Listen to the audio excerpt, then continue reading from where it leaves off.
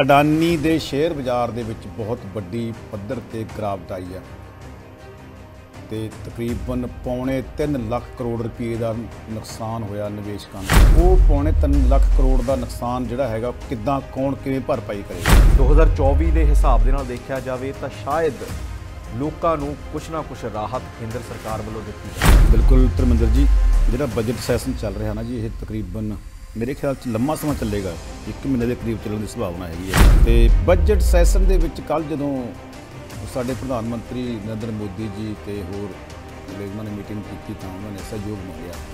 ਜਿਹੜੇ ਵਿਰੋਧੀ ਦਲ ਹੈਗੇ ਆ ਉਹਨਾਂ ਸਹਿਯੋਗ ਵਿੱਚ ਕਿਹਾ ਕਿ ਆਪਾਂ ਸਾਰੇ ਹੀ ਮੁੱਦਿਆਂ ਉੱਤੇ ਬਹਿਸ ਕਰਾਉਣ ਵਾਸਤੇ ਤਿਆਰ। ਪਰ ਸ਼ਾਂਤੀ ਅਤੇ ਹਲੀਮੀ ਰੱਖਣ ਦੇ ਨਾਲ ਆਪਾਂ ਵਧੀਆ ਤਰੀਕੇ ਨਾਲ ਸੈਸ਼ਨ ਚਲਾ ਸਕਾਂਗੇ। ਇੱਕ ਅਡਾਨੀ ਵਰਗੇ ਬੰਦੇ ਨੂੰ ਤੁਸੀਂ ਕਿੱਦਾਂ ਦੇਸ਼ ਦੇ ਉੱਪਰ ਛਾ ਰਹੇ ਜਦੋਂ 84 ਦੇ ਕਤਲੇਆਮ ਦੀ ਗੱਲ ਕਰਦੇ ਹੋ ਜੋ ਸਿੱਖਾਂ ਦਾ ਕਤਲੇਆਮ ਕੀਤਾ ਗਿਆ ਸੀ ਕਾਂਗਰਸ ਤੇ ਮੜਦੇ ਹੋ।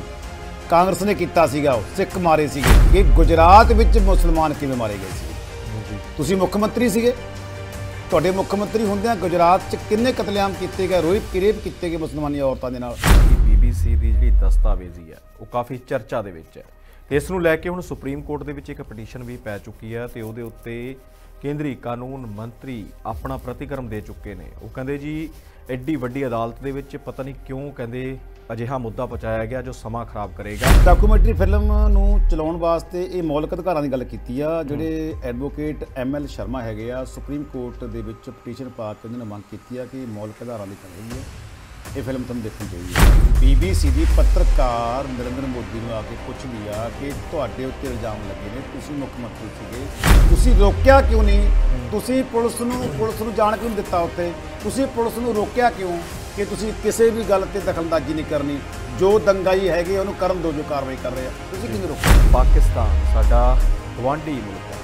ਉੱਥੇ ਬਹੁਤ ਵੱਡਾ ਆਤਮਘਾਤੀ ਹਮਲਾ ਹੋਇਆ ਜਿਹੜੀ ਹੁਣ ਤੱਕ ਦੀ ਅਪਡੇਟ ਹੈ ਵੈਸੇ ਅਖਬਾਰਾਂ ਦੇ ਵਿੱਚ ਤਾਂ ਮੇਰੇ ਖਿਆਲ 'ਚ 61 ਦੇ ਕਰੀਬ ਲੋਕਾਂ ਦੀ ਜਾਨ ਗਈ ਹੈ ਪਰ ਜਿਹੜੀ ਅਪਡੇਟ ਦੇ ਮੁਤਾਬਕ ਤੇ 63 ਲੋਕਾਂ ਦੀ ਜਾਨ ਜਾ ਚੁੱਕੀ ਹੈ। ਜਿਹੜਾ ਨਹੀਂ ਵੈਸੇ ਥੋੜੀ ਦੁੱਖ ਵਾਲੀ ਗੱਲ ਹੈ ਬਹੁਤ ਵੱਡਾ ਹਮਲਾ ਹੋਇਆ ਜਿਹੜਾ ਤਹਿਰੀਕ ਤਾਲਿਬਾਨ ਨੇ ਇਹਦੀ ਜ਼ਿੰਮੇਵਾਰੀ ਲਈ ਹੈ। ਜਦੋਂ ਵੀ ਅਸੀਂ ਨਾ ਸਾਡਾ ਮੁਖੀ ਮਰਿਆ ਸੀਗਾ ਉਹਨਾਂ ਪਰ ਮਰਿਆ ਸੀਗਾ ਉਹਨਾਂ ਦਾ ਮੁਖੀ ਸੀਗਾ। ਉਹ ਉਹਦਾ ਬਦਲਾ ਲਿਆ ਸੀ। ਬਦਲਾ ਤੁਸੀਂ ਲੈ ਲਓ ਘੋੜੇ ਜਾ ਕੇ ਉਹਨਾਂ ਮਤਲਬ ਜਿਹਨੇ ਮਾਰਿਆ ਹੈ। ਤੁਸੀਂ ਇਹ ਜਿਹੜੇ ਆਮ ਲੋਕਾਂ ਨਾਲ ਕਿਉਂ ਤੁਸੀਂ ਆਮ ਲੋਕਾਂ ਦਾ ਕਿਉਂ ਬਦਲਾ ਲੈ ਰਹੇ ਹੋ? ਕਾਟ ਤੋਂ ਲੈ ਕੇ ਟ੍ਰੇਡ ਟ੍ਰੇਡ ਦੀ ਵੈਸੇ ਖਬਰ ਆਮ ਆ ਪਤਾ ਤਾਂ ਲੱਗਿਆ ਵੀ ਵੱਧ ਬੰਦੇ ਮਰ ਜਿਹੜੀ ਇਹ ਮਸਜਿਦ ਆ ਨਾ ਜੀ ਇਹ ਮਸਜਿਦ ਪੁਲਿਸ ਜਿਹੜੀ ਪੁਲਿਸ ਦਾ ਥਾਣਾ ਹੁੰਦਾ ਨਾ ਜੀ ਥਾਣੇ ਦੇ ਵਿੱਚ ਬਣੀ ਹੋਈ ਹੈ ਉਸ ਇਲਾਕੇ 'ਚ ਬਣੀ ਪੁਲਿਸ ਏਰੀਆ 'ਚ। ਪੁਲਿਸ ਇਲਾਕੇ 'ਚ। ਇੱਕ ਬੰਦਾ ਜਾਂਦਾ ਉੱਥੇ ਖੜਿਆ ਤੇ ਉਹ ਆਪਣੇ ਆਪ ਨੂੰ ਉੱਥੇ ਬੰਬ ਨਾਲ ਉਡਾ ਲੈਂਦਾ। 150 ਦੇ ਵੱਧ ਲੋਕ ਜ਼ਖਮੀ ਦੱਸ ਰਹੇ ਨੇ ਤੇ ਉਹਨਾਂ ਵਿੱਚ ਜ਼ਖਮੀਆਂ ਵਿੱਚ ਬਹੁਤ ਸਾਰੇ ਲੋਕ ਜਿਹੜੇ ਹੈਗੇ ਆ ਕਾਫੀ ਗੰਭੀਰ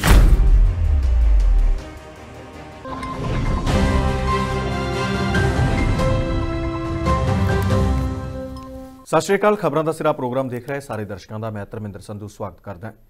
ਖਬਰਾਂ ਦਾ ਸਿਰਾ ਪ੍ਰੋਗਰਾਮ ਸਾਡਾ ਲਾਈਵ ਪ੍ਰੋਗਰਾਮ ਹੈ। ਇਹਦਾ ਹਿੱਸਾ ਤੁਸੀਂ ਵੀ ਬਣ ਸਕਦੇ ਹੋ, ਸਾਡੇ ਨਾਲ ਜੁੜ ਸਕਦੇ ਹੋ, ਸਾਨੂੰ ਕਾਲ ਕਰ ਸਕਦੇ ਹੋ। ਸਟੂਡੀਓ ਦਾ ਨੰਬਰ ਵਾਰ-ਵਾਰ ਤੁਹਾਡੀ ਸਕਰੀਨ ਦੇ ਉੱਤੇ ਸ਼ੋ ਹੁੰਦਾ ਰਹੇਗਾ। ਚੱਲਦੇ ਪ੍ਰੋਗਰਾਮ ਦੇ ਦੌਰਾਨ। ਖਬਰਾਂ ਦਾ ਸਿਰਾ ਪ੍ਰੋਗਰਾਮ ਤੁਸੀਂ ਦੇਖ ਸਕਦੇ ਹੋ D5 ਚੈਨਲ ਪੰਜਾਬੀ ਦੇ ਫੇਸਬੁੱਕ ਪੇਜ ਦੇ ਉੱਤੇ ਲਾਈਵ। ਤੇ ਹੁਣ ਸਾਡੇ IPTV ਦੇ ਉੱਤੇ ਵੀ ਤੁਸੀਂ ਖਬਰਾਂ ਦਾ ਸਿਰਾ ਪ੍ਰੋਗਰਾਮ ਦੇਖ ਸਕਦੇ ਹੋ, ਸਾਡੀਆਂ ਹੋਰ ਖਬਰਾਂ, ਸਾਰੀਆਂ ਅਪਡੇਟਸ ਦੇਖ ਸਕਦੇ ਹੋ। D5 ਚੈਨਲ ਪੰਜਾਬੀ ਦੀ ਵੈਬਸਾਈਟ ਤੇ ਜਾ ਕੇ ਤੁਸੀਂ ਖਬਰਾਂ ਪੜ੍ਹ ਸਕਦੇ ਹੋ, ਆਰਟੀਕਲ ਪੜ੍ਹ ਸਕਦੇ ਹੋ ਤੇ ਹਰ ਤਰ੍ਹਾਂ ਦੀ ਜਾਣਕਾਰੀ ਹਾਸਲ ਕਰ ਸਕਦੇ ਹੋ। ਖਬਰਾਂ ਦਾ ਸਿਰਾ ਪ੍ਰੋਗਰਾਮ ਦਾ ਹਿੱਸਾ ਬਣਦੇ ਨੇ ਸੀਨੀਅਰ ਪੱਤਰਕਾਰ ਗੁਰਨਾਮ ਸਿੰਘ ਅਕੀਦਾ। ਅਕੀਦਾ ਸਾਹਿਬ ਅੱਜ ਵੀ ਸਟੂਡੀਓ 'ਚ ਮੌਜੂਦ ਨੇ। ਸਭ ਤੋਂ ਪਹਿਲਾਂ ਉਹਨਾਂ ਦਾ ਸਵਾਗਤ ਕਰਦੇ ਹਾਂ। ਸਰ ਸਵਾਗਤ ਹੈ ਜੀ। ਧੰਨਵਾਦ ਰਵਿੰਦਰ ਜੀ। ਧੰਨਵਾਦ ਸਾਰੇ ਦਰਸ਼ਕਾਂ ਦਾ ਸਾਰਿਆਂ ਸਰੋਤਿਆਂ ਦਾ ਸਾਰਿਆਂ ਨੂੰ ਸਤਿ ਸ੍ਰੀ ਅਕਾਲ ਆਦਾਬ ਨਮਸਕਾਰ ਜੀ। ਅਗਦਾ ਸਾਹਿਬ ਕਈ ਅਹਿਮ ਵੱਡੀਆਂ ਖਬਰਾਂ ਨੇ ਜਿਨ੍ਹਾਂ ਦੇ ਉੱਤੇ ਆਪਾਂ ਇੱਕ ਇੱਕ ਕਰਕੇ ਚਰਚਾ ਕਰਾਂਗੇ ਤੇ ਸਭ ਤੋਂ ਪਹਿਲੀ ਤੇ ਵੱਡੀ ਅਹਿਮ ਖਬਰ ਜਿਹਦੇ ਵੱਲ ਲੋਕਾਂ ਦਾ ਵੀ ਧਿਆਨ ਹੈ ਆਮ ਜਨਤਾ ਦਾ ਵੀ ਧਿਆਨ ਗਿਆ ਹੋਇਆ ਉਹ ਹੈ ਬਜਟ ਨੂੰ ਲੈ ਕੇ। ਅੱਜ ਤੋਂ ਬਜਟ ਸੈਸ਼ਨ ਦੀ ਸ਼ੁਰੂਆਤ ਹੋ ਰਹੀ ਹੈ। ਕੱਲ ਸਰ ਪਾਰਟੀ ਮੀਟਿੰਗ ਸੱਦੀ ਗਈ ਸੀ ਦੇਸ਼ ਦੇ ਪ੍ਰਧਾਨ ਮੰਤਰੀ ਨਰਿੰਦਰ ਮੋਦੀ ਵੱਲੋਂ ਤੇ ਅੱਜ ਬਜਟ ਸੈਸ਼ਨ ਸਟਾਰਟ ਹੋ ਜਾਵੇਗਾ। 2024 ਦੇ ਹਿਸਾਬ ਦੇ ਨਾਲ ਦੇਖਿਆ ਜਾਵੇ ਤਾਂ ਸ਼ਾਇਦ ਲੋਕਾਂ ਨੂੰ ਕੁਝ ਨਾ ਕੁਝ ਰਾਹਤ ਕੇਂਦਰ ਸਰਕਾਰ ਵੱਲੋਂ ਦਿੱਤੀ ਜਾਵੇ ਜੀ। ਬਿਲਕੁਲ ਧਰਮਿੰਦਰ ਜੀ, ਜਿਹੜਾ ਬਜਟ ਸੈਸ਼ਨ ਚੱਲ ਰਿਹਾ ਨਾ ਜੀ, ਇਹ ਤਕਰੀਬਨ ਮੇਰੇ ਖਿਆਲ ਚ ਲੰਮਾ ਸਮਾਂ ਚੱਲੇਗਾ। 1 ਮਹੀਨੇ ਦੇ ਕਰੀਬ ਚੱਲਣ ਦੀ ਸੰਭਾਵਨਾ ਹੈਗੀ ਇਹਦੀ। ਤੇ ਇਸ ਨੂੰ ਆਪਾਂ ਬਜਟ ਸੈਸ਼ਨ ਵੀ ਤਕਰੀਬਨ 1 ਫਰਵਰੀ ਨੂੰ ਮੇਰੇ ਖਿਆਲ ਚ ਪਾਸ ਹੋਣ ਦੀ ਪੇਸ਼ ਹੋਣ ਦੀ ਸੰਭਾਵਨਾ ਹੈਗੀ ਆ। ਤੇ ਬਜਟ ਸੈਸ਼ਨ ਦੇ ਵਿੱਚ ਕੱਲ ਜਦੋਂ ਸਾਡੇ ਪ੍ਰਧਾਨ ਮੰਤਰੀ ਨਰਿੰਦਰ ਮੋਦੀ ਜੀ ਤੇ ਹੋਰ ਜਿਹੜੇ ਉਹਨਾਂ ਨੇ ਮੀਟਿੰਗ ਕੀਤੀ ਤਾਂ ਉਹਨਾਂ ਨੇ ਸਹਿਯੋਗ ਮੰਗਿਆ। ਜਿਹੜੇ ਵਿਰੋਧੀ ਦਲ ਹੈਗੇ ਆ ਉਹਨਾਂ ਤੋਂ। ਸਹਿਯੋਗ ਵਿੱਚ ਕਿਹਾ ਕਿ ਆਪਾਂ ਸਾਰੇ ਹੀ ਮੁੱਦਿਆਂ ਉੱਤੇ ਬਹਿਸ ਕਰਾਉਣ ਵਾਸਤੇ ਤਿਆਰ ਹਾਂ ਪਰ ਸ਼ਾਂਤੀ ਅਤੇ ਹਲੀਮੀ ਰੱਖਣ ਦੇ ਨਾਲ ਆਪਾਂ ਵਧੀਆ ਤਰੀਕੇ ਨਾਲ ਸਿਆਸਨ ਚਲਾ ਸਕਾਂਗੇ। ਜਿਹੜੇ ਵਿਰੋਧੀ ਧਿਰ ਦੇ ਨੇਤਾ ਸੀਗੇ, ਆਗੂ ਸੀਗੇ, ਦੂਜੀਆਂ ਪਾਰਟੀਆਂ ਦੇ, ਉਹਨਾਂ ਦਾ ਇੱਕ ਜ਼ੋਰਦਾਰ ਤਰੀਕੇ ਨਾਲ ਤੇ ਉਹ ਸੀਗਾ ਕਿ ਇੱਕ ਤਾਂ ਜਿਹੜਾ ਅਡਾਨੀ ਦੇ ਸ਼ੇਅਰ ਬਾਜ਼ਾਰ ਦੇ ਵਿੱਚ ਬਹੁਤ ਵੱਡੀ ਪੱਧਰ ਤੇ ਗਿਰਾਵਟ ਆਈ ਆ ਤੇ ਤਕਰੀਬਨ ਪੌਣੇ 3 ਲੱਖ ਕਰੋੜ ਰੁਪਏ ਦਾ ਨੁਕਸਾਨ ਹੋਇਆ ਨਿਵੇਸ਼ਕਾਂ ਨੂੰ। ਜੀ। ਤੇ ਉਹ ਪੌਣੇ 3 ਲੱਖ ਕਰੋੜ ਦਾ ਨੁਕਸਾਨ ਜਿਹੜਾ ਹੈਗਾ ਕਿੱਦਾਂ ਕੌਣ ਕਿਵੇਂ ਭਰਪਾਈ ਕਰੇਗਾ? ਇੱਕ ਅਡਾਨੀ ਵਰਗੇ ਬੰਦੇ ਨੂੰ ਤੁਸੀਂ ਕਿੱਦਾਂ ਦੇਸ਼ ਦੇ ਉੱਪਰ ਛਾ ਰਹੇ ਹੋ? ਜੀ। ਦੇਸ਼ ਨੂੰ ਇੱਕ ਬੰਦੇ ਦੇ ਹਵਾਲੇ ਕਿਉਂ ਕੀਤਾ ਜਾ ਰਿਹਾ? ਹੈ ਇਹ ਚਰਚਾ ਕਰਨ ਵਾਸਤੇ ਵੀ ਕੱਲ ਮੰਗ ਉੱਠੀ ਹੈ। ਬੜੀ ਅਹਿਮ ਮੰਗ ਹੈ ਕਾਰਪੋਰੇਟ ਦੇ ਅਦਾਰਿਆਂ ਦੇ ਵਿੱਚ ਜੇਕਰ ਕਿਸੇ ਵਿਅਕਤੀ ਦੀ ਬੜੇ ਵੱਡੇ ਪੱਧਰ ਤੇ ਚਰਚਾ ਹੋ ਰਹੀ ਹੈ ਤਾਂ ਉਹ ਹੈ ਅਡਾਨੀ। ਅਡਾਨੀ ਅੰਬਾਨੀ ਤੋਂ ਵੀ ਅੱਗੇ ਲੰਘ ਰਿਹਾ ਹੈ ਤੇ ਜਦ ਕਿ ਅਡਾਨੀ ਦਾ ਜੋ ਕਾਰੋਬਾਰ ਆ ਉਹ ਕੇਂਦਰ ਸਰਕਾਰ ਦੇ ਰਹਿਮੋ ਕਰਮ ਉੱਤੇ ਚੱਲ ਰਿਹਾ ਹੈ। ਰਹਿਮੋ ਕਰਮ ਤਾਂ ਆਪਾਂ ਸਮਝਦੇ ਹਾਂ ਸਾਰੇ ਜੀ।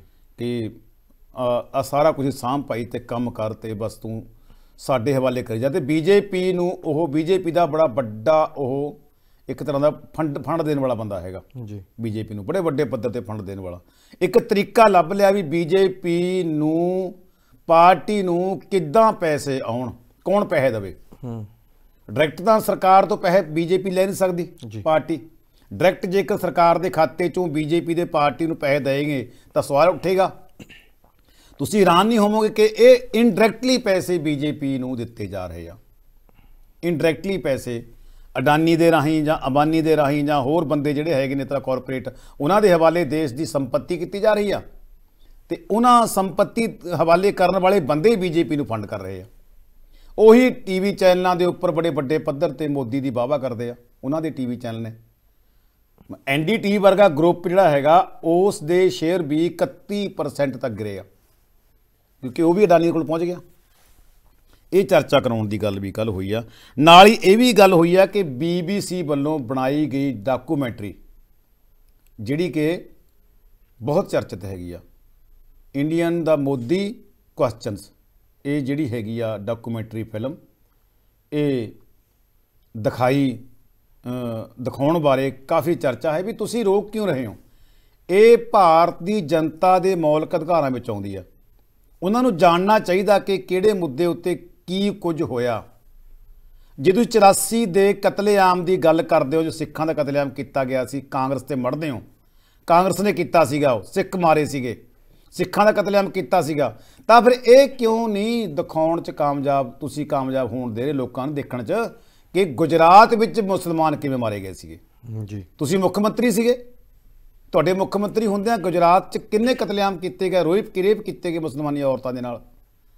ਇਹ ਲਾਜ਼ਮੀ ਤੌਰ ਤੇ ਦਿਖਾਈ ਜਾਣੀ ਚਾਹੀਦੀ ਆ।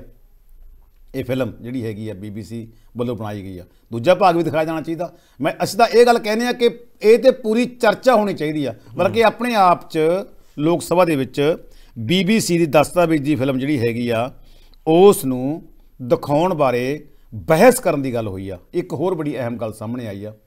ਉਹ ਇਹ ਕਿ ਰਾਜਪਾਲ ਲਗਾਤਾਰ ਦੂਜੀਆਂ ਵਿਰੋਧੀ ਪਾਰਟੀਆਂ ਦੇ ਮੁੱਖ ਮੰਤਰੀਆਂ ਦੂਜੇ ਵਿਰੋਧੀ ਪਾਰਟੀਆਂ ਦੇ ਕੰਮਕਾਜ ਵਿੱਚ ਢੀਕਾ ਬਣੇ ਹੋਏ ਆ।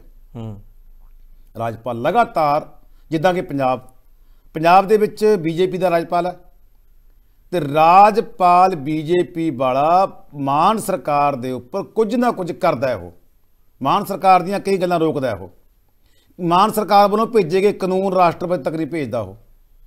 ਮਾਨ ਸਰਕਾਰ ਵੱਲੋਂ ਕੀਤੀ ਹੋਈਆਂ ਕਾਰਵਾਈਆਂ ਉਹਦੇ ਉੱਤੇ ਸਾਈਨ ਨਹੀਂ ਕਰਦਾ ਉਹ।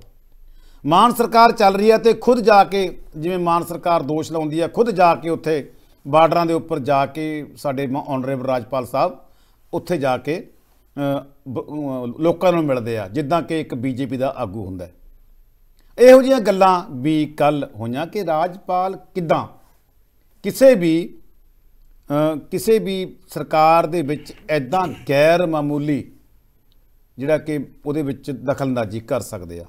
ਇਹ ਗੱਲਾਂ ਵੀ ਕੱਲ ਹੋਈਆਂ ਕਿ ਇਹ ਵੀ ਹੋਣਾ ਚਾਹੀਦਾ।